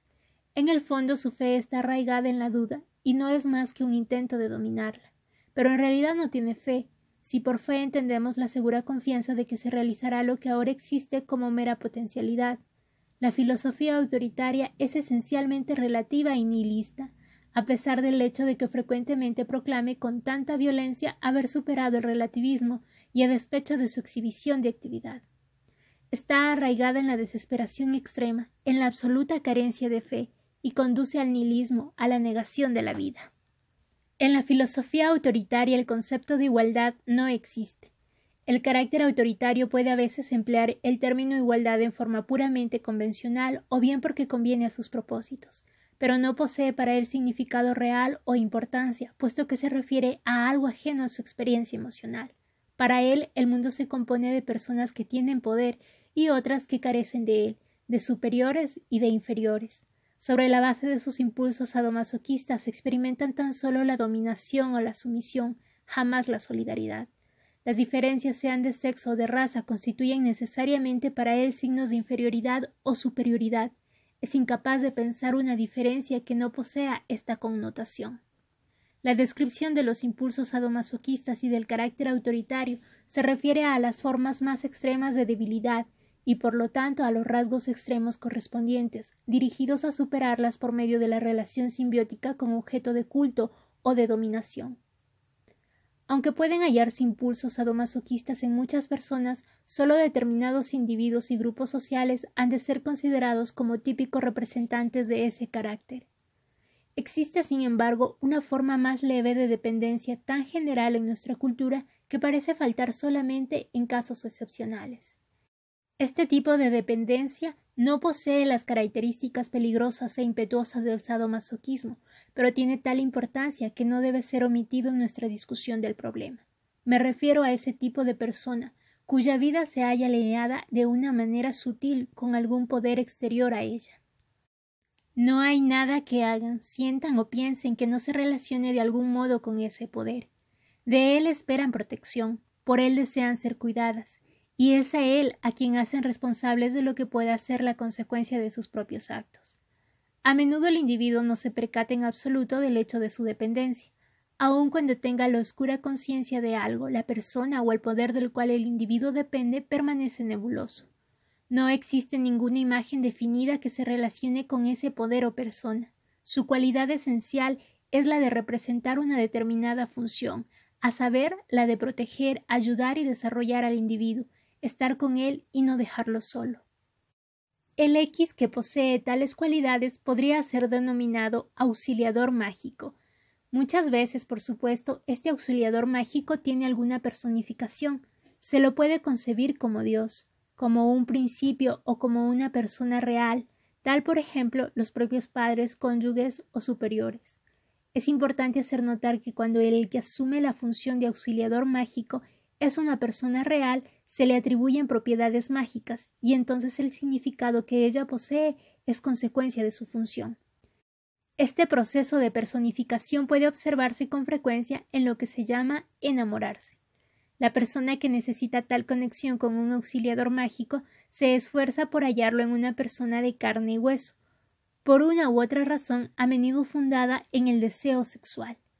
Determinado individuo asume para él aquellas propiedades mágicas y se transforma así en el ser del cual ha de permanecer dependiendo toda su vida. El hecho de que la otra persona haga muchas veces lo mismo con respecto a la primera no altera en nada la relación tan solo contribuye a reforzar la impresión de que se trata del, entre comillas, verdadero amor. Esta necesidad de auxiliador mágico puede ser estudiada en condiciones casi experimentales en el procedimiento psicoanalítico. Con frecuencia la persona analizada desarrolla un profundo afecto hacia el psicoanalista y a él relaciona toda su vida, acciones, pensamientos y sentimientos. Consciente o inconscientemente la persona sometida a análisis se pregunta ¿Le gustará a él, o sea, al analista, esto o aquello? ¿Me aprobará o me reprenderá? En la relación amorosa, el hecho de que se elija esta o aquella persona se toma como prueba de que se la ama justamente por ser él el elegido. Pero en la situación psicoanalítica esta ilusión no puede sostenerse. Los tipos más distintos de pacientes desarrollan idénticos sentimientos hacia los tipos más distintos de psicoanalistas. La relación se parece al amor, a menudo se ve acompañada de deseos sexuales y sin embargo se trata de la conexión con el auxiliador mágico, personificado, papel que evidentemente el psicoanalista se halla en condiciones de desempeñar muy bien, del mismo modo como ciertas personas que ejercen autoridad, médicos, sacerdotes, maestros. En principio, las causas que inducen a las personas a relacionarse con el auxiliador mágico son las mismas que hemos hallado como fundamento de los impulsos simbióticos, la incapacidad de subsistir solo y de expresar plenamente las propias potencialidades individuales. En el caso de los impulsos sadomasoquistas, tal incapacidad origina la tendencia a despojarse del yo individual, pasando la persona a depender del auxiliador mágico en las formas más leves que se acaban de tratar. Origina simplemente el deseo de ser guiado y protegido. La intensidad de la conexión con el auxiliador mágico se halla en proporción inversa con la capacidad de expresar espontáneamente las propias potencialidades intelectuales, emocionales y sensitivas. Con otras palabras, se espera obtener del auxiliador mágico todo cuanto se espera en la vida en vez de conseguirlo como resultado de las propias acciones. Cuanto más nos acercamos a este caso, tanto más el centro de nuestra vida se desplaza desde nuestra propia persona a la del auxiliador mágico y sus personificaciones. El problema que se plantea entonces no es ya el de cómo vivir nosotros mismos, sino el de cómo manejarlo a él a fin de no perderlo, de que nos haga obtener lo que deseamos y hasta de hacerlo responsable de nuestras propias acciones.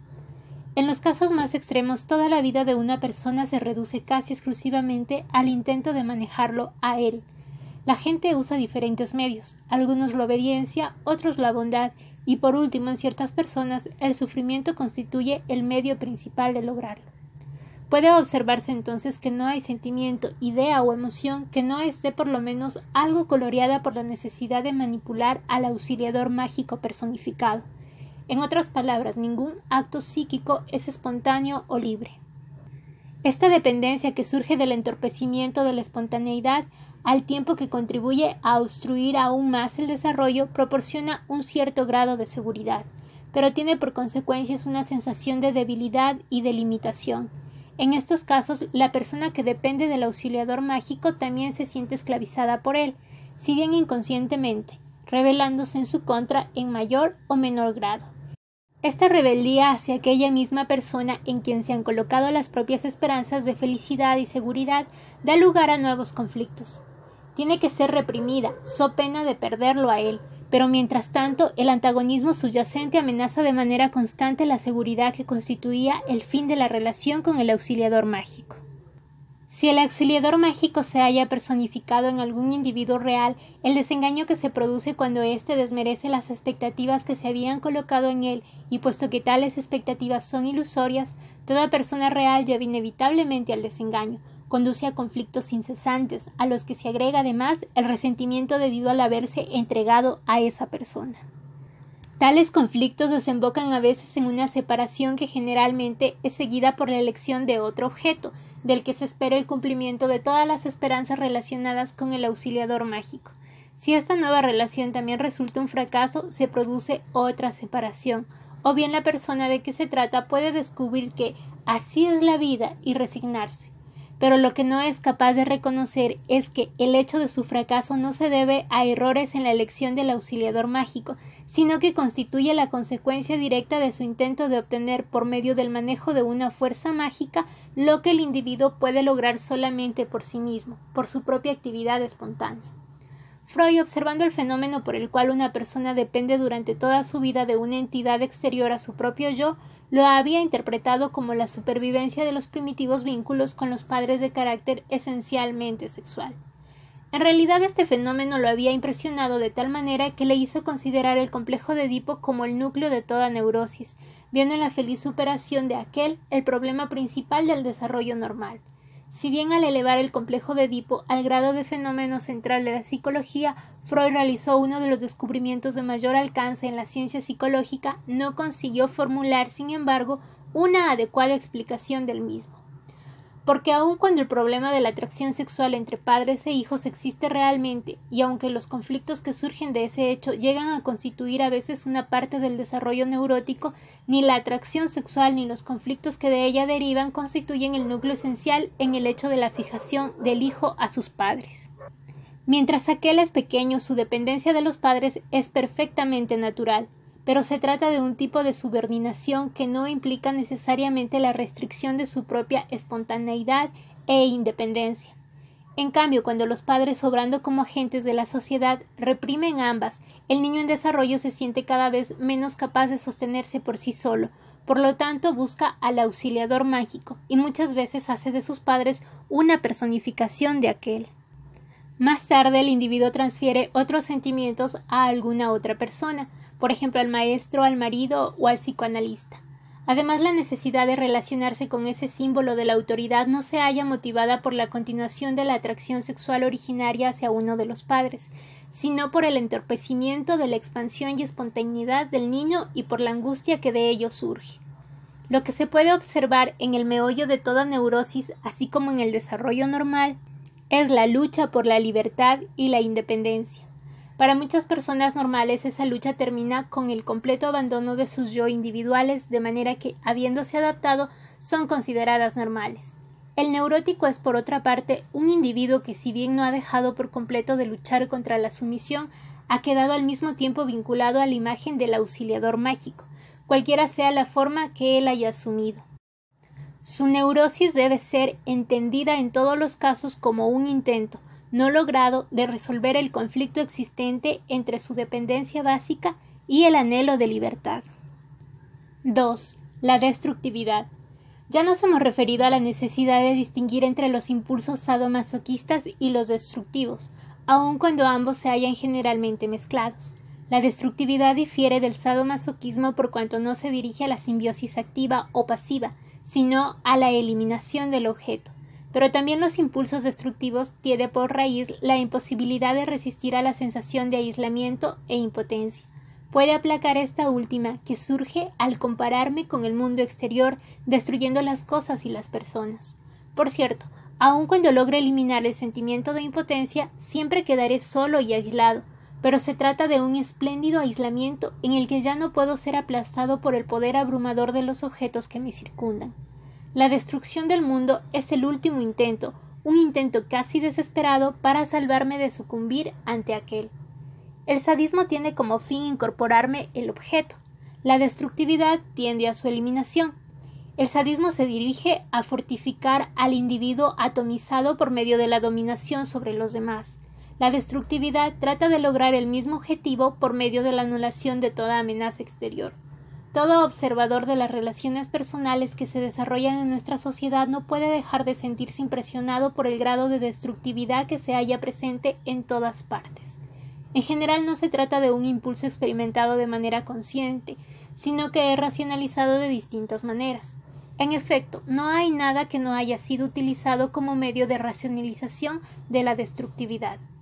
El amor, el deber, la conciencia, el patriotismo, han servido de disfraz para ocultar los impulsos destructivos hacia los otros y hacia uno mismo. Sin embargo, debemos distinguir entre dos especies de tales tendencias. Están las que resultan de una situación específica, tal es por ejemplo la reacción que origina el ataque contra la vida o la integridad propia o ajena, o bien contra aquellas ideas con las cuales una persona se identifica. En este caso, la destructividad es el concomitante necesario de la afirmación de la propia vida. La destructividad de que estamos tratando ahora no pertenece, empero, a este tipo racional, o mejor dicho, reactivo, sino que constituye una tendencia que se halla constantemente en potencia dentro del individuo, el cual, por decirlo así, está acechando la oportunidad de exteriorizarla. Cuando no existe ninguna razón objetiva que justifique una manifestación de destructividad, decimos que se trata de un individuo mental o emocionalmente enfermo, aun cuando tal persona nunca deja de construir alguna clase de racionalización. Sin embargo, en la mayoría de los casos los impulsos destructivos son racionalizados de tal manera que por lo menos un cierto número de personas o aún todo un grupo social participan de las creencias justificativas. De este modo, para todos sus miembros, tales racionalizaciones parecen corresponder a la realidad, ser, entre comillas, realistas pero los objetos destinados a sufrir la destructividad irracional y las razones especiales que se hacen valer representan factores de importancia secundaria. Los impulsos destructivos constituyen una pasión que obra dentro de la persona y siempre logran hallar algún objeto. Si por cualquier causa ningún otro individuo puede ser asumido como objeto de la destructividad, este será el mismo yo. Cuando ello ocurre y si se trata de un caso de cierta gravedad puede sobrevenir como consecuencia una enfermedad física y aún intentos de suicidio. Hemos compuesto que la destructividad representa una forma de huir de un insoportable sentimiento de impotencia, dado que se dirige a eliminar todos aquellos objetos con los que el individuo debe compararse.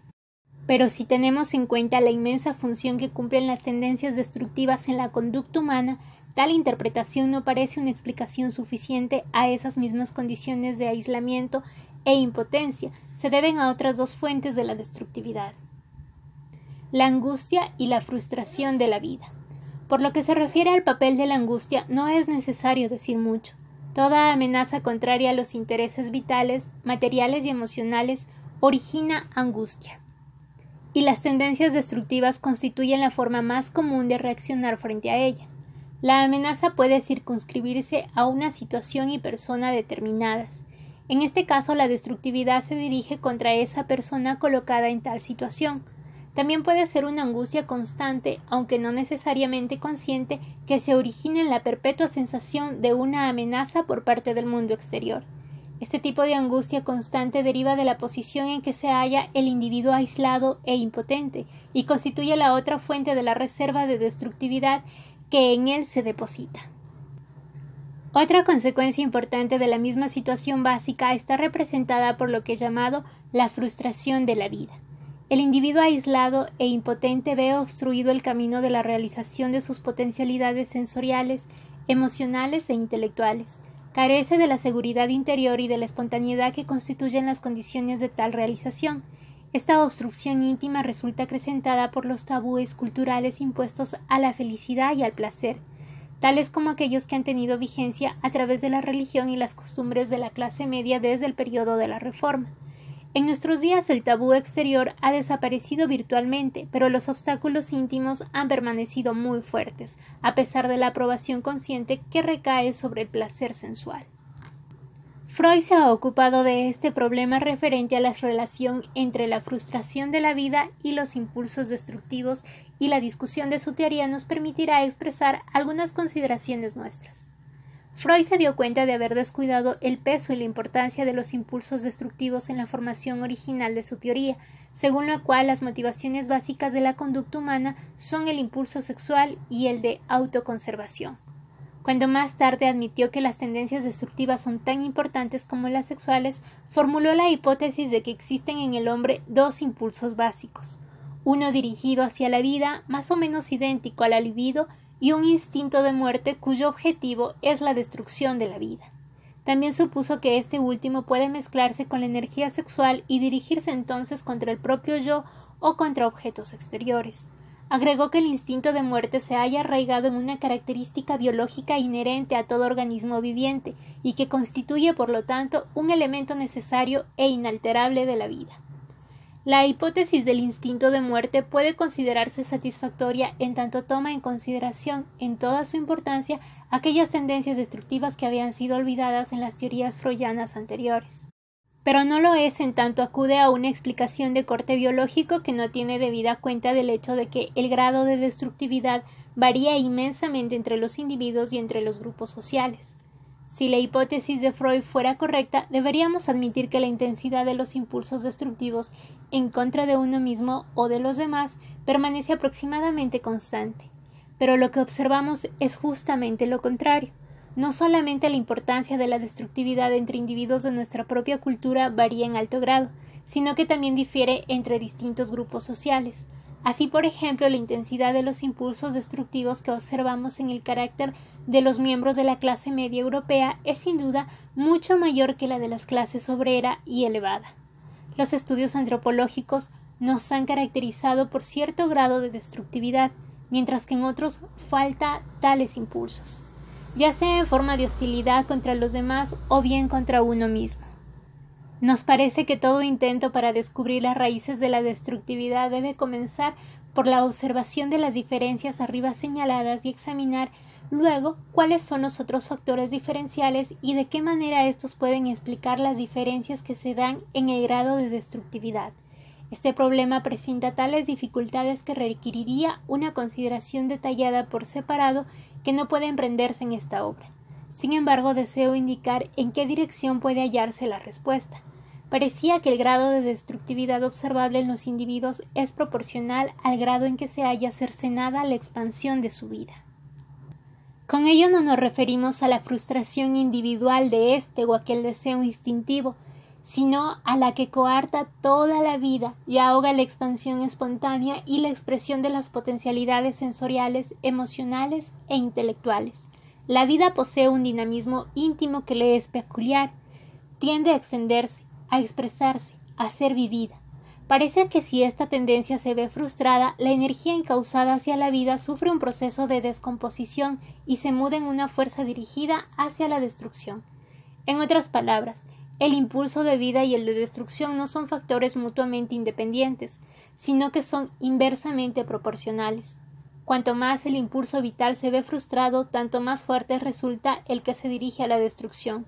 Cuanto más plenamente se realiza la vida, tanto menor es la fuerza de la destructividad. Esta es el producto de la vida no vivida. Aquellos individuos y condiciones sociales que conducen a la represión de la plenitud de la vida producen también aquella pasión destructiva que constituye, por así decirlo, el depósito del cual se nutren las tendencias hostiles especiales contra uno mismo o los otros. Huelga decir cuán importante es no solo dañar la función dinámica de la destructividad, sino también comprender cuáles son las condiciones específicas que determinan su intensidad. Ya nos hemos referido a la hostilidad que caracterizó a la clase media en la época de la Reforma y que halló su expresión en ciertos conceptos religiosos del protestantismo, en especial manera en su espíritu ascético y en la concepción de Calvino acerca de un Dios despiadado, satisfecho de condenar a una parte de la humanidad por faltas que no había cometido. Entonces, tal como ocurrió más tarde, la clase media expresó su hostilidad principalmente ocultándola bajo la forma de indignación moral, sentimiento que racionalizaba su intensa envidia hacia quienes disponían de los medios de gozar de la vida. En nuestra escena contemporánea, la destructividad de la baja clase media ha constituido un factor importante en el surgimiento del nazismo, el cual apeló a tales impulsos destructivos y los usó a luchar contra sus enemigos. La raíz de la destructividad existente en la baja clase media puede reconocerse fácilmente en los elementos que hemos analizado en nuestra discusión aislamiento del individuo y represión de la expansión individual, factores ambos que en esa clase se mostraron en un grado de intensidad mucho mayor que en la de las demás capas sociales. 3. Conformidad automática. En los mecanismos que hemos considerado hasta ahora, el individuo trata de superar el sentimiento de insignificancia experimentado frente al poder abrumador del mundo exterior, renunciando a su integridad individual o bien destruyendo a los demás, a fin de que el mundo deje de ser tan amenazante. Otros mecanismos de evasión lo constituyen el retraimiento del mundo exterior, realizado de un modo tan completo que se elimine la amenaza. Es el caso de ciertos estados psicóticos. La inflación del propio yo de manera que el mundo exterior se vuelva pequeño. Aunque estos mecanismos de evasión son importantes para la psicología individual, desde el punto de vista cultural tienen un significado mucho menor. Por lo tanto, omitiré su discusión para referirme en cambio a un tercer mecanismo de suma importancia social. Este mecanismo constituye la solución adoptada por la mayoría de los individuos normales de la sociedad moderna. Para expresarlo con pocas palabras, el individuo deja de ser él mismo, adopta por completo el tipo de personalidad que le proporcionan las pautas culturales y por lo tanto se transforma en un ser exactamente igual a todo el mundo y tal como los demás esperan que él sea. La discrepancia entre el yo y el mundo desaparece y con ella el miedo consciente de la soledad y la impotencia. Es un mecanismo que podría compararse con el mimetismo de ciertos animales se parecen tanto al ambiente que resulta difícil distinguirlos entre sí. Las personas que se despojan de su yo individual y se transforman en un autómata idéntico a los millones de otros autómatas que lo circundan ya no tiene por qué sentirse solo y angustiado. Sin embargo, el precio que paga por ello es muy alto, nada menos que la pérdida de su personalidad. La hipótesis según la cual el método normal de superar la soledad es el de transformarse en un autómata contradice una de las ideas más difundidas concernientes al hombre de nuestra cultura. Se supone que la mayoría de nosotros somos individuos libres de pensar, sentir y obrar a nuestro placer. Y por cierto, no es esta tan solo la opinión general que se sustenta con respecto al individualismo de los tiempos modernos, sino también lo que todo individuo cree sinceramente en lo concerniente a sí mismo, a saber que él es él, y que sus pensamientos, sentimientos y deseos son suyos. Y sin embargo, aunque haya entre nosotros personas que realmente son individuos, esa creencia es en general una ilusión, y una ilusión peligrosa por cuanto obstruye el camino que conduciría a la eliminación de aquellas condiciones que originan tal estado de cosas.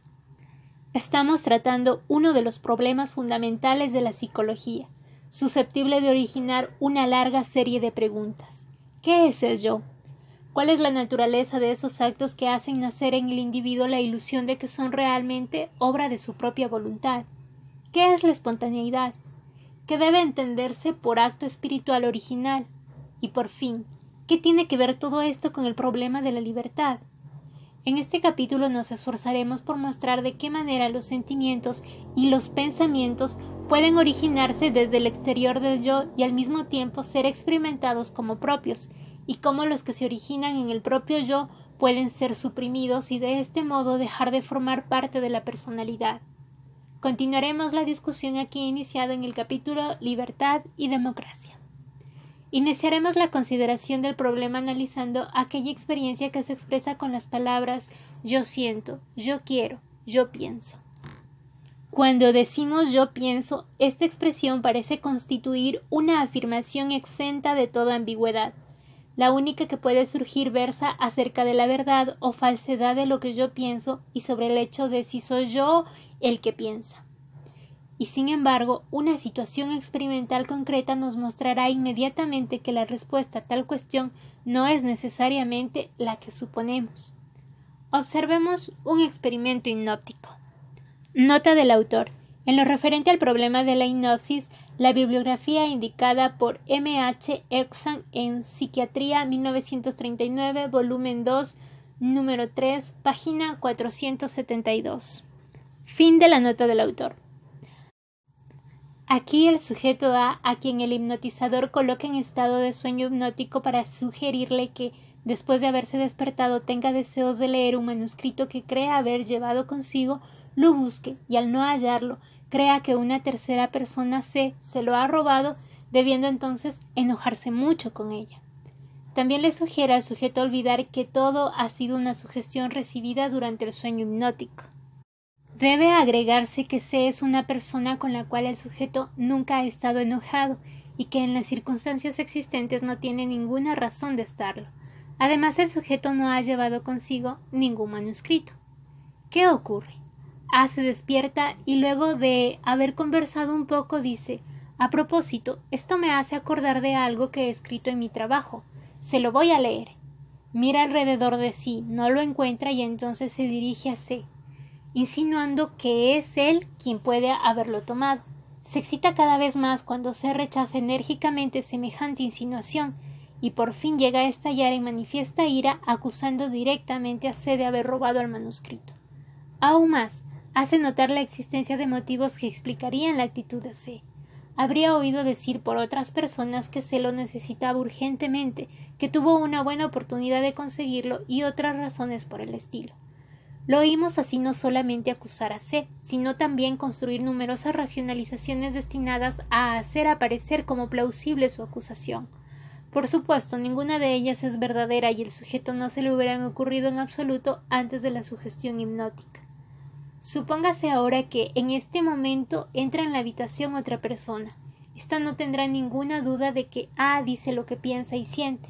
El único interrogante para esta persona versaría acerca de la realidad de la acusación, a saber si el contenido de los pensamientos de A se halla o no conforme con los hechos objetivos. Nosotros, sin embargo, que hemos asistido al desarrollo del procedimiento desde el principio, no nos preocupamos por saber si la acusación es verdadera. Sabemos que no es este el problema, puesto que estamos seguros de que los pensamientos y los sentimientos de A no son suyos, sino que representan elementos ajenos que le han sido inculcados por otra persona. La conclusión a que llega el último que ha entrado en la habitación podría ser la siguiente. Aquí está A que indica claramente cuáles son sus pensamientos. Él es el único que puede conocer con mayor certeza lo que piensa, y no existe prueba mejor que la de su declaración acerca de sus pensamientos. También están las otras personas según las cuales aquellos le han sido sugeridos y constituyen elementos extraños, aportados desde afuera. Con toda justicia yo no puedo decidir quién tiene razón, cualquiera de ellos puede equivocarse. Quizá puesto que hay dos contra uno, existe una mayor probabilidad de que sea verdad lo que afirma la mayoría. Sin embargo, nosotros que hemos presenciado todo el experimento no tendríamos ninguna duda ni la tendría la persona recién llegada si observara otro experimento similar. Vería entonces que esta clase de experiencias puede repetirse innumerables veces con distintas personas y diferentes contenidos. El hipnotizador puede sugerir que una papa cruda sea un delicioso ananá, y el sujeto comerá la papa con todo el gusto asociado con el sabor de un ananá, o que el sujeto ya no puede ver nada, y éste se volverá ciego, o que piense que el mundo es plano y no redondo, y el sujeto sostendrá con mucho vigor que realmente el mundo es plano. ¿Qué es lo que prueba el experimento hipnótico y en especial el poshipnótico? Prueba que podemos tener pensamientos, sentimientos, deseos y hasta sensaciones que si bien los experimentamos subjetivamente como nuestros, nos han sido impuestos desde afuera. Estos no son fundamentalmente extraños y no corresponden a lo que en verdad pensamos, deseamos o sentimos. ¿Qué enseñanzas podemos extraer del experimento hipnótico a que nos hemos referido? 1. El sujeto quiere algo, leer su manuscrito. 2. Piensa algo, que se lo ha tomado. Y 3. Siente algo, ira contra sí. Hemos visto que estos tres actos mentales, voluntad, pensamiento y emoción, no son los suyos propios en el sentido de representar el resultado de su actividad mental. Por el contrario, no se han originado en su yo, sino que han sido puestos en él desde el exterior y son subjetivamente experimentados como si fueran los suyos propios. El sujeto expresa también ciertos pensamientos que no le han sido sugeridos durante la hipnosis, a saber aquellas racionalizaciones por medio de las cuales explica su hipótesis de que se ha robado el manuscrito. Sin embargo, estos pensamientos son suyos tan solo en un sentido formal. Si bien parecería que ellos explicaran la sospecha de robo, sabemos que es esta la que se da primero y que los pensamientos racionalizantes han sido inventados para hacer plausible el sentimiento de sospecha. Ellos realmente no son explicatorios, sino que vienen post factum. Comenzamos con el experimento hipnótico porque él nos muestra el modo más indudable que, aun cuando uno puede hallarse convencido de la espontaneidad de los propios actos mentales, ellos, en las condiciones derivadas de una situación especial, pueden ser el resultado de la influencia ejercida por otra persona. Este fenómeno, sin embargo, no se limita de ninguna manera a las experiencias hipnóticas. El hecho de que nuestros pensamientos, voluntad, emociones no son genuinos y que su contenido se origina desde afuera se da en medida tan vasta que surge la impresión de que tales pseudoautos constituyen la regla general, mientras que los actos mentales genuinos o naturales representan la excepción. El hecho de que el pensamiento puede asumir un carácter falso es más conocido que el fenómeno análogo que se desarrolla en las esferas de la voluntad y la emoción. Será mejor entonces comenzar con la discusión de la diferencia existente entre el pensamiento genuino y el pseudopensamiento. Supóngase que nos hallamos en una isla en la que se encuentran pescadores y veraneantes llegados de la ciudad. Deseamos conocer qué tiempo hará y se lo preguntamos a un pescador y a dos veraneantes que sabemos han oído por la radio el pronóstico del tiempo. El pescador, con su larga experiencia y gran interés por este asunto, reflexiona sobre el problema suponiendo que no se haya formado una opinión con anterioridad a nuestra pregunta. Con su conocimiento del significado que la dirección del viento, temperatura, humedad, etc., tienen en la predicción del tiempo, tendrá en cuenta los diferentes factores de acuerdo con su respectiva importancia, llegando así a un juicio más o menos definitivo. Probablemente se acordará del pronóstico emitido por la radio y lo citará como una afirmación favorable o contraria a su propia predicción. En este último caso, nuestro pescador podrá poner cuidado especial a valorar las razones en que se apoya su opinión. Pero, y esto es lo esencial, se trata siempre de su opinión, el resultado de su pensamiento. El primero de los veraneantes es un hombre que, al ser interrogado acerca del tiempo, sabe que no entiende mucho de este asunto ni se siente obligado a poseer tal conocimiento. Simplemente se limita a replicar no puedo juzgar, todo lo que sé es que el pronóstico radial es este. El otro veraneante, en cambio, es de un tipo distinto. Cree saber mucho acerca del tiempo, aun cuando en realidad sepa muy poco. Pertenece a esa clase de personas que se sienten obligadas a saber responder a todas las preguntas. piensa durante un rato y luego nos comunica su opinión, que resulta ser idéntica al pronóstico radial. Le preguntamos sus razones y él nos dice que teniendo en cuenta tal dirección del viento, la temperatura, etc., ha llegado a esa conclusión. El comportamiento de esta persona visto desde afuera es el mismo que el del pescador.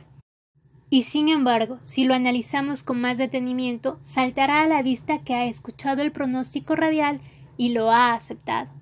Pero sintiéndose impulsado a tener su propia opinión en este asunto, se olvida que está repitiendo simplemente las afirmaciones autorizadas de algún otro y cree que se trata de la que él mismo ha alcanzado por medio de su propio pensamiento. Se imagina así que las razones que nos proporciona en apoyo de su opinión han precedido a esta, pero si examinamos tales razones nos daremos cuenta de que ellas no han podido conducirlo a ninguna conclusión acerca del tiempo, a menos que una opinión definida hubiera ya existido en su mente. En realidad se trata solamente de pseudo razones, cuya finalidad es la de hacer aparecer la opinión como el resultado de su propio esfuerzo mental. Tiene la ilusión de haber llegado a una opinión propia, pero en realidad ha adoptado simplemente la de una autoridad sin haberse percatado de su proceso. Muy bien podría darse el caso de que sea él quien tenga la razón y no el pescador, pero mientras la opinión correcta no es suya, la del pescador, aun cuando se hubiera equivocado, no dejaría de ser su propia opinión. Este mismo fenómeno puede observarse al estudiar las opiniones de la gente acerca de ciertos temas, por ejemplo, la política. Preguntemos a cualquier lector del periódico lo que piensa acerca de algún problema público.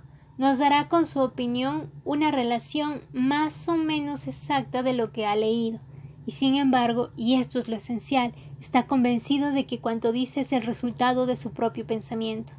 Si vive en una pequeña comunidad donde las opiniones políticas pasan de padre a hijo, su propia opinión puede estar regida mucho más de lo que él mismo piensa por la persistente autoridad de un padre severo. O bien la opinión de otro lector podría resultar de un momento de desconcierto, del miedo de aparecer mal informado y por lo tanto, en este caso, el pensamiento constituiría sobre todo una forma de salvar las apariencias, más que la combinación natural de la experiencia, el deseo y el saber. Lo mismo ocurre con los juicios estéticos. El individuo común que concurre a un museo y mira el cuadro de un pintor famoso, digamos por ejemplo Rembrandt, lo juzga una obra de arte bella y majestuosa. Si analizamos su juicio, hallaremos que esta persona no ha experimentado ninguna reacción íntima frente al cuadro, sino que piensa que es bello porque tal es el juicio que de ella se espera. El mismo fenómeno se evidencia en el caso de juicios sobre música y también con respecto al acto mismo de la percepción. Muchos individuos al contemplar algún paisaje famoso en realidad ven pinturas o fotografías que tantas veces han tenido ocasión de admirar, por ejemplo en una tarjeta postal, y mientras creen ver el paisaje lo que tienen frente a sus ojos son esas imágenes reproducidas. O bien, al tener experiencia de un accidente que ocurre en su presencia, ven u oyen la situación en los términos que tendría la crónica periodística que anticipan. En realidad para muchas personas sus experiencias, espectáculo artístico, reunión política, etc., se vuelven reales tan solo después de haber leído la correspondiente noticia en el diario. La supresión del pensamiento crítico generalmente empieza temprano. Una chica de cinco años, por ejemplo, puede advertir la falta de sinceridad de su madre, ya sea por la sutil observación de que mientras ésta habla continuamente de amor y amistad, de hecho se muestra fría y egoísta, o bien de una manera más superficial, al descubrir que su madre mantiene una relación amorosa con otro hombre al tiempo que exalta su propio nivel moral. La niña siente la discrepancia, su sentido de la justicia y la verdad sufre un rudo contraste, y sin embargo, como depende de la madre, quien no, le permitiría ninguna especie de crítica, y por otra parte no puede, por ejemplo, confiar en el padre, que es un débil, la niña se ve obligada a reprimir su capacidad de crítica. Muy pronto ya no se dará cuenta de la insinceridad de la madre o de su infidelidad perderá su capacidad del pensamiento crítico, puesto que se trata de algo aparentemente inútil y peligroso. Por otra parte, la niña experimenta el efecto de la pauta cultural que le dicta la creencia de que el matrimonio de los padres es feliz y que su madre es una mujer sincera y decente, y en virtud de ello la hija se hallará dispuesta a aceptar esta idea como si fuera propia. En todos los ejemplos anteriores el problema que se plantea es el de saber si el pensamiento es el resultado de la actividad del propio yo o no si su contenido es correcto. Como se ha indicado en el caso del pescador, sus pensamientos bien pueden ser erróneos y en cambio corresponder a la verdad los del hombre, que se limita a repetir lo que ha sido sugerido. Además, el pseudopensamiento puede ser también perfectamente lógico y racional. Su pseudo-carácter no tiene que manifestarse necesariamente en la presencia de elementos ilógicos. Esto puede comprobarse en las racionalizaciones que tienden a explicar una acción o un sentimiento sobre las bases racionales o realistas, aunque aquellos estén determinados por factores irracionales y subjetivos. Las racionalizaciones pueden hallarse en contradicción con los hechos o con las reglas del pensamiento lógico, pero frecuentemente serán lógicas y racionales tomadas en sí mismas. En este caso, su irracionalidad residirá en el hecho de que no constituyen el motivo real de la acción que pretenden haber causado. Un ejemplo de racionalización irracional lo hallamos en un chiste bien conocido. Una persona había tomado prestado una jarra de vidrio de un vecino y la había roto. Cuando éste se la pidió de vuelta, contestó En primer lugar, se la he devuelto. En segundo lugar, nunca se la pedí prestada y por último ya estaba rota cuando usted me la prestó. Tenemos en cambio un ejemplo de racionalización racional cuando una persona A que se halla en dificultades económicas le pide a un pariente suyo B que le preste dinero. B se rehúsa y afirma que su manera de obrar se funda en la creencia de que el prestarle dinero a A tan solo habría de fomentar la inclinación de éste hacia la irresponsabilidad y el deseo de apoyarse en los demás. Ahora bien, este razonamiento puede ser perfectamente cuerdo, pero seguiría siendo una racionalización aún en este caso, pues B en ningún momento le hubiera prestado el dinero a A, y aun cuando conscientemente cree que su negativa está motivada por una preocupación con respecto al bienestar de A, en realidad el motivo reside en su tacañería. Por lo tanto, no podemos saber si nos hallamos en presencia de una racionalización simplemente analizando la lógica de las afirmaciones de una determinada persona, sino que debemos tener en cuenta también las motivaciones psicológicas que operan en la misma. El punto decisivo no es lo que se piensa, sino cómo se piensa. Las ideas que resultan del pensamiento activo son siempre nuevas y originales. Ellas no lo son necesariamente en el sentido de no haber sido pensadas por nadie hasta ese momento, sino en tanto la persona que las piensa ha empleado el pensamiento como un instrumento para descubrir algo nuevo en el mundo circundante o en su foro interno. Las racionalizaciones carecen en esencia de ese carácter de descubrimiento y revelación. Ellas se limitan a confirmar los prejuicios emocionales que ya existen en uno mismo. La racionalización no presenta un instrumento para penetrar en la realidad, sino que constituye un intento post factum destinado a armonizar los propios deseos con la realidad exterior. Con el sentimiento ocurre lo mismo. Debe distinguirse entre lo genuino que se origina en nosotros mismos y el pseudo sentimiento que en realidad no es nuestro, a pesar de que lo creemos tal. Elijamos un ejemplo extraído de la vida cotidiana y que representa típicamente cuál es el carácter de nuestros sentimientos en el contacto con los demás. Observemos a un hombre que asiste a una fiesta. Está realmente alegre. Se ríe, conversa amigablemente y parece contento y feliz. Al saludar sonríe amistosamente al tiempo que dice haberse divertido muchísimo. La puerta se cierra detrás de él y ha llegado el momento de observarlo con suma atención. En su rostro se advierte un cambio repentino. La sonrisa ha desaparecido. Por supuesto, esto debió preverse, puesto que ahora está solo y no tiene nada ni hay nadie que pueda evocar la sonrisa pero el cambio a que me refiero representa algo más que la simple desaparición de la sonrisa. En su cara aparece una expresión de profunda tristeza, casi de desesperación. Esto probablemente tan solo durante unos segundos. Luego su rostro asume la expresión habitual como la de una máscara.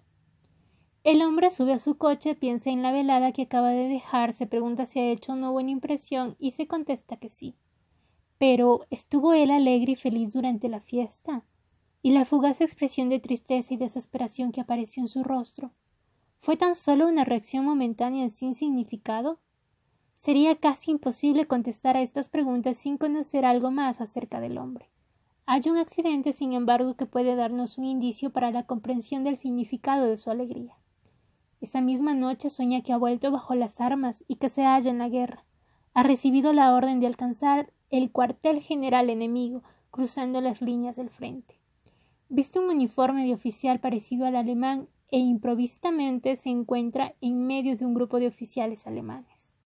Se sorprende de encontrar tan confortable el cuartel general enemigo y de ver que todos se le muestran amistosos, pero a la vez se siente invadido por el creciente terror de ser descubierto como espía. Uno de los oficiales más jóvenes, hacia el cual experimenta mayor simpatía, se le acerca y le dice Yo sé quién es usted. Solo hay un modo de salvarse. Cuéntele chistes, hágalo reír a fin de que se distraigan y dejen de prestarle atención. Nuestro hombre queda muy agradecido por el consejo y empieza a contar chistes y a reírse. Luego su actitud alegre aumenta de intensidad de tal manera que los otros oficiales sospechan de él y cuanto mayor es su sospecha, tanto más innaturales y forzados parecen sus chistes y su alegría. Por fin experimenta tal sentimiento de terror que ya no puede quedarse. Se levanta de un solo salto de la silla y echa a correr. Todos los oficiales lo persiguen. Entonces la escena cambia. Está sentado en un tranvía que se detiene justo frente a su casa. Viste un traje civil ordinario, experimenta un sentimiento de alivio y piensa que la guerra ya ha terminado.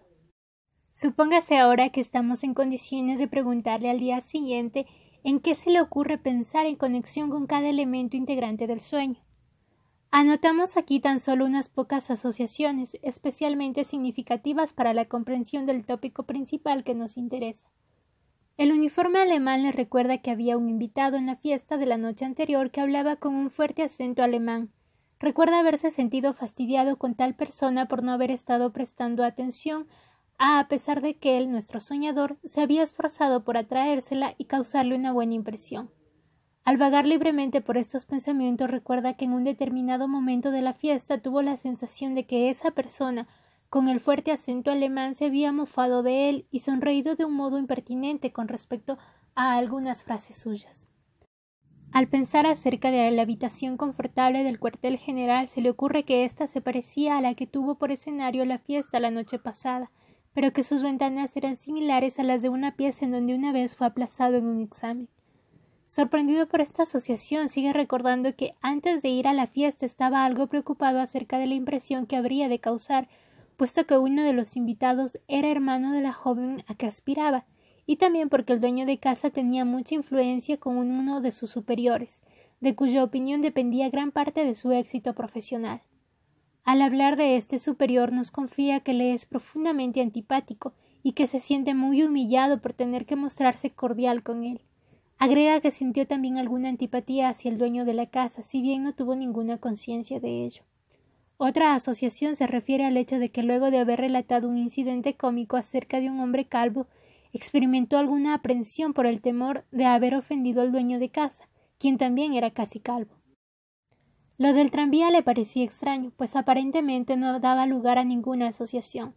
Pero al hablar sobre esto recuerda el tranvía que cuando era niño lo llevaba a la escuela y además se le ocurre otro detalle a saber que, habiendo ocupado el lugar del conductor, pensó cuán extraordinariamente parecido resulta guiar un tranvía a manejar un auto. Es evidente que el tranvía simboliza su propio coche en el que había vuelto a su casa y que esto le había hecho recordar el momento en que regresaba al hogar desde la escuela. Todo el que esté acostumbrado a entender el significado de los sueños ya habrá captado con toda claridad el sentido del que hemos relatado y de las asociaciones que lo acompañan, aun cuando se haya mencionado tan solo una parte de ellas y nada se sepa acerca de la estructura de la personalidad y de la situación pasada y presente de nuestro hombre. El sueño revela cuáles fueron sus sentimientos reales durante la fiesta de la noche anterior, estaba ansioso, temeroso de no causar buena impresión, tal como se proponía, enojado con respecto a diversas personas por las cuales se sentía ridiculizado y a quienes creía serles poco simpático. El sueño muestra que la alegría era un medio para ocultar su angustia y su ira, y al mismo tiempo para aplacar a las personas con las que se hallaba enojado. Su alegría era una máscara, no surgía de él mismo, sino que ocultaba sus verdaderos sentimientos, que eran miedo e ira. Todo esto contribuía también a hacer insegura su posición toda, de manera que se sentía como un espía en campo enemigo en peligro de ser descubierto en cualquier momento. Ahora se halla la confirmación y también la explicación de la momentánea expresión de tristeza y desesperación que pudimos observar en su rostro en el momento de abandonar la fiesta. En ese momento Su cara expresó lo que él realmente sentía, aunque se trataba de algo de lo cual él no se daba cuenta en absoluto. En el sueño este sentimiento se halla descrito de manera dramática y a la vez explícita, si bien no se refiere abiertamente a las personas que eran objetos de tales sentimientos. El hombre que hablamos no era neurótico. Tampoco se hallaba bajo el hechizo hipnótico. Se trataba de un individuo más bien normal, poseído por la misma angustia y necesidad de aprobación que es habitual en el hombre moderno. No se daba cuenta del hecho de que su alegría no era realmente suya, dado que acostumbrado como estaba a sentir lo que todo el mundo debe sentir en una situación determinada, el que se diera cuenta de algo extraño hubiese constituido la excepción más bien que la regla. Lo que es cierto para el pensamiento y la emoción vale también para la voluntad. La mayoría de la gente está convencida de que mientras no se la obligue a algo mediante la fuerza externa, sus decisiones le pertenecen, y que si quiere algo realmente es ella quien lo quiere pero se trata tan solo de una de las grandes ilusiones que tenemos acerca de nosotros. Gran número de nuestras decisiones no son realmente nuestras, sino que nos han sido sugeridas desde afuera. Hemos logrado persuadirnos a nosotros mismos de que ellas son obra nuestra, mientras que en realidad nos hemos limitado a ajustarnos a la expectativa de los demás, impulsados por el miedo al aislamiento y por amenazas aún más directas en contra de nuestra vida, libertad y conveniencia. Cuando se pregunta a los chicos si desean ir a la escuela todos los días y su contestación es Seguro que sí. ¿Es sincera esta respuesta? En muchos casos, por cierto, no lo es. Muchas veces el niño sentirá deseos de ir a la escuela, pero frecuentemente preferiría jugar o hacer alguna otra cosa. Si siente yo quiero ir a la escuela todos los días, es que acaso haya reprimido su aversión hacia la regularidad del trabajo escolar. Siente que se espera de él que vaya todos los días a la escuela y tal presión es lo bastante fuerte como para ahogar el sentimiento de que va porque está obligado a ello. El chico podría sentirse más feliz si pudiera tener conciencia del hecho de que a veces quiere ir y otras va simplemente porque así se lo ordena. Y sin embargo, la presión bajo la forma de deber es lo bastante intensa como para darle la sensación de que él quiere aquello que socialmente se supone debe querer. En general se supone que la mayoría de los hombres se casan voluntariamente. Por cierto, hay casos en el que el motivo del matrimonio reside en un sentimiento de deber u obligación, y hay otros en que el hombre se casa porque él realmente quiere casarse. Pero también se dan no pocos casos en los que el hombre o la mujer, mientras conscientemente cree que quiere casarse con cierta persona, en realidad es víctima de una sucesión de acontecimientos que lo han conducido al matrimonio y parecen obstruir todo camino de salvación. Durante los meses que preceden al casamiento está firmemente convencido de que él tiene la voluntad de casarse, y la primera y algo tardía indicación de acaso no sea así la constituye el hecho de que el día mismo de la ceremonia se siente invadido por un repentino terror y por el impulso de huir. Si se trata de una persona entre comillas sensata, este sentimiento dura tan solo unos pocos minutos y contestará a la pregunta acerca de su intención de casarse con el inconmovible convencimiento de que tal suceso es su deseo. Podríamos seguir citando muchos otros ejemplos de la vida diaria en los que la gente parece tomar decisiones, parece querer algo, pero en realidad sigue la presión interna o externa de tener que desear aquello que se dispone a hacer. De hecho, al observar el fenómeno de la decisión humana es impresionante el grado en que la gente se equivoca al tomar por decisiones propias lo que en efecto constituye un simple sometimiento a las convenciones, al deber o a la presión social. Casi podría afirmarse que una decisión original es comparativamente un fenómeno raro en una sociedad cuya existencia se supone basada en la decisión autónoma individual. Quiero agregar otro ejemplo detallado de pseudo voluntad, que puede observarse con frecuencia al analizar a personas que se hallan exentas de todo sistema neurótico. Una de las razones para referirme a tal ejemplo es que, aun cuando el caso individual no tiene mucha importancia con respecto a los problemas culturales de mayor alcance que constituyen el tema de este libro, contribuye, sin embargo, a dar al lector poco familiarizado con el mecanismo de las fuerzas inconscientes una oportunidad más para conocer este fenómeno.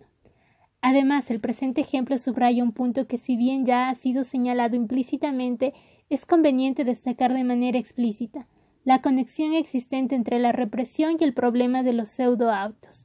Si bien se considera la represión, sobre todo desde el punto de vista de la acción de las fuerzas reprimidas en la conducta neurótica, los sueños, etc., nos parece importante subrayar el hecho de que toda represión elimina ciertas partes del propio yo real y obliga a colocar un pseudo sentimiento en sustitución del que ha sido reprimido.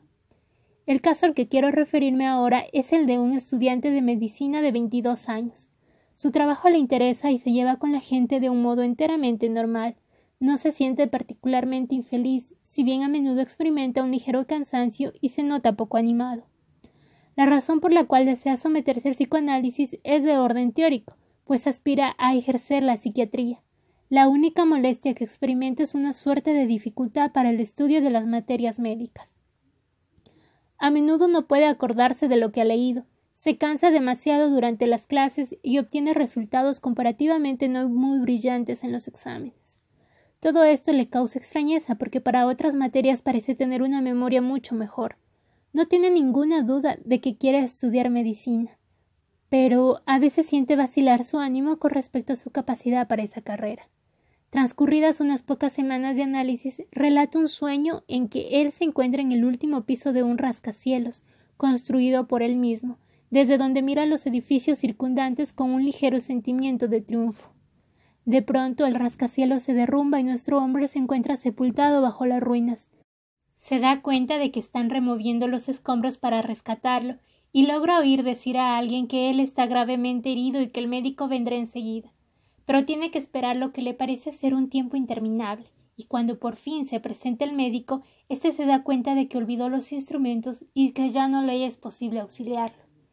Nace en él una ira intensa contra el médico y repentinamente se encuentra de pie percatándose de no haber sido herido en absoluto mira con desprecio al médico y en ese momento despierta. El sujeto no posee muchas asociaciones en conexión con este sueño, pero he aquí algunas de las más significativas. Al pensar en el rascacielos que ha construido, menciona de manera incidental cuán interesado está en la arquitectura. Cuando niño su pasatiempo favorito durante muchos años consistía en juegos de construcciones y a los 17 años había pensado en llegar a ser arquitecto. Cuando se lo dijo al padre, éste le contestó muy amigablemente que, por cierto, él era muy libre de elegir su carrera, pero que él, el padre, estaba seguro de que se trataba de un resto de sus deseos infantiles y que en realidad su deseo era el de estudiar medicina.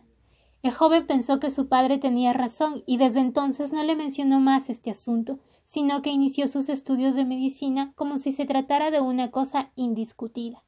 Sus asociaciones en torno a la tardanza del médico y a su olvido de los instrumentos eran vagas y escasas.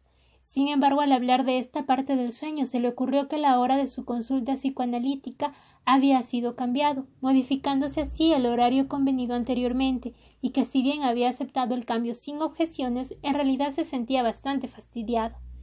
En el momento mismo en que hablaba podía sentir crecer su enojo. Acusa al analista de ser arbitrario y por fin exclama Bien, Después de todo, yo no puedo hacer lo que quiero de ninguna manera. Se sorprende en sumo grado frente a su ira y a la frase que acaba de pronunciar, puesto que hasta ese momento jamás había experimentado antagonismo alguno en contra del analista y del psicoanálisis. Algún tiempo después tiene otro sueño del que no recuerda más que un fragmento. Su padre resulta herido en un accidente de automóvil.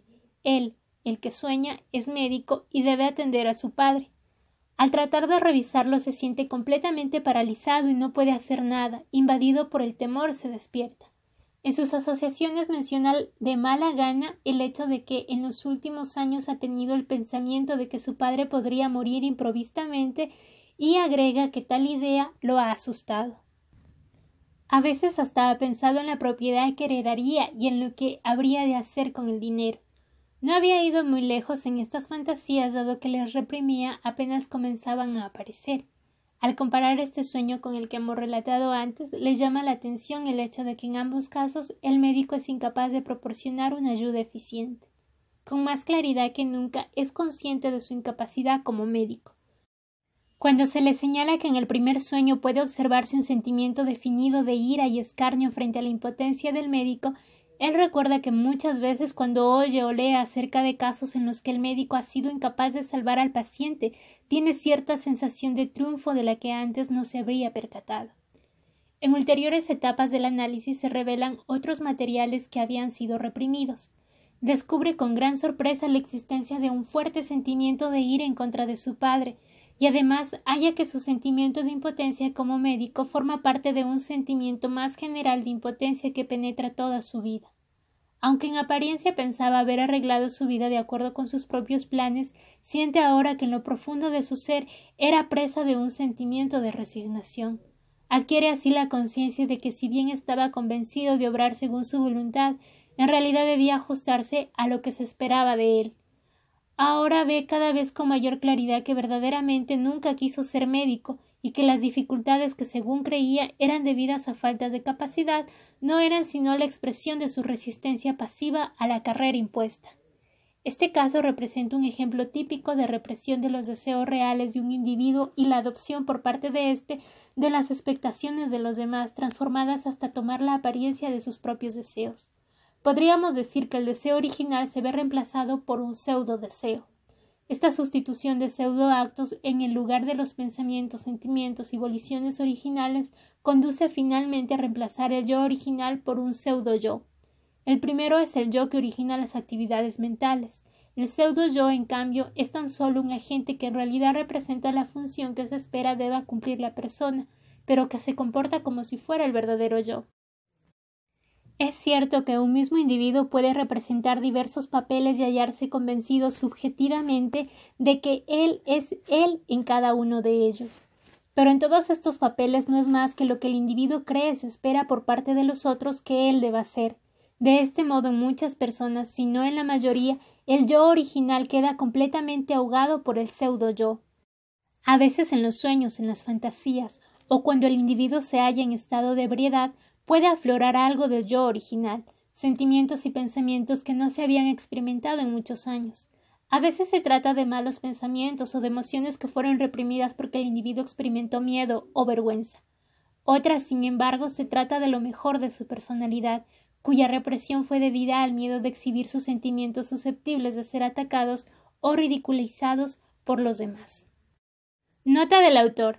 El procedimiento psicoanalítico es esencialmente un proceso en el que una persona trata de descubrir su yo original.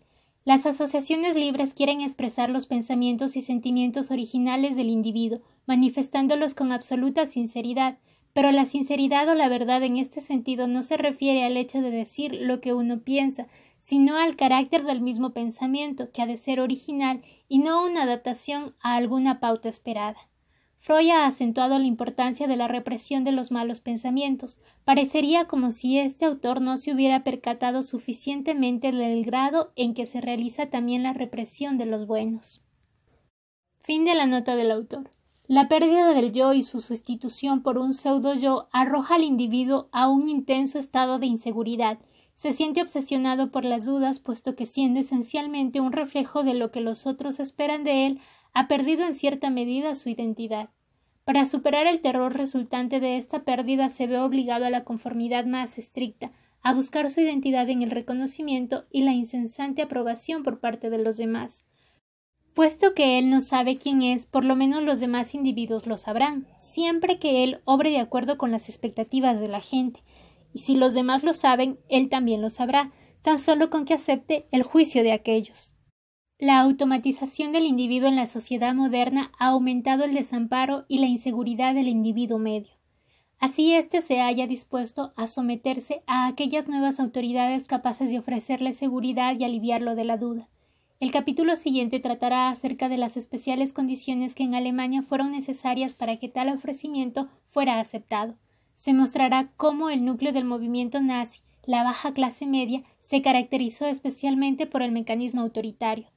En el último capítulo de esta obra proseguiremos la discusión sobre la conformidad automática en relación con la escena cultural de nuestras democracias.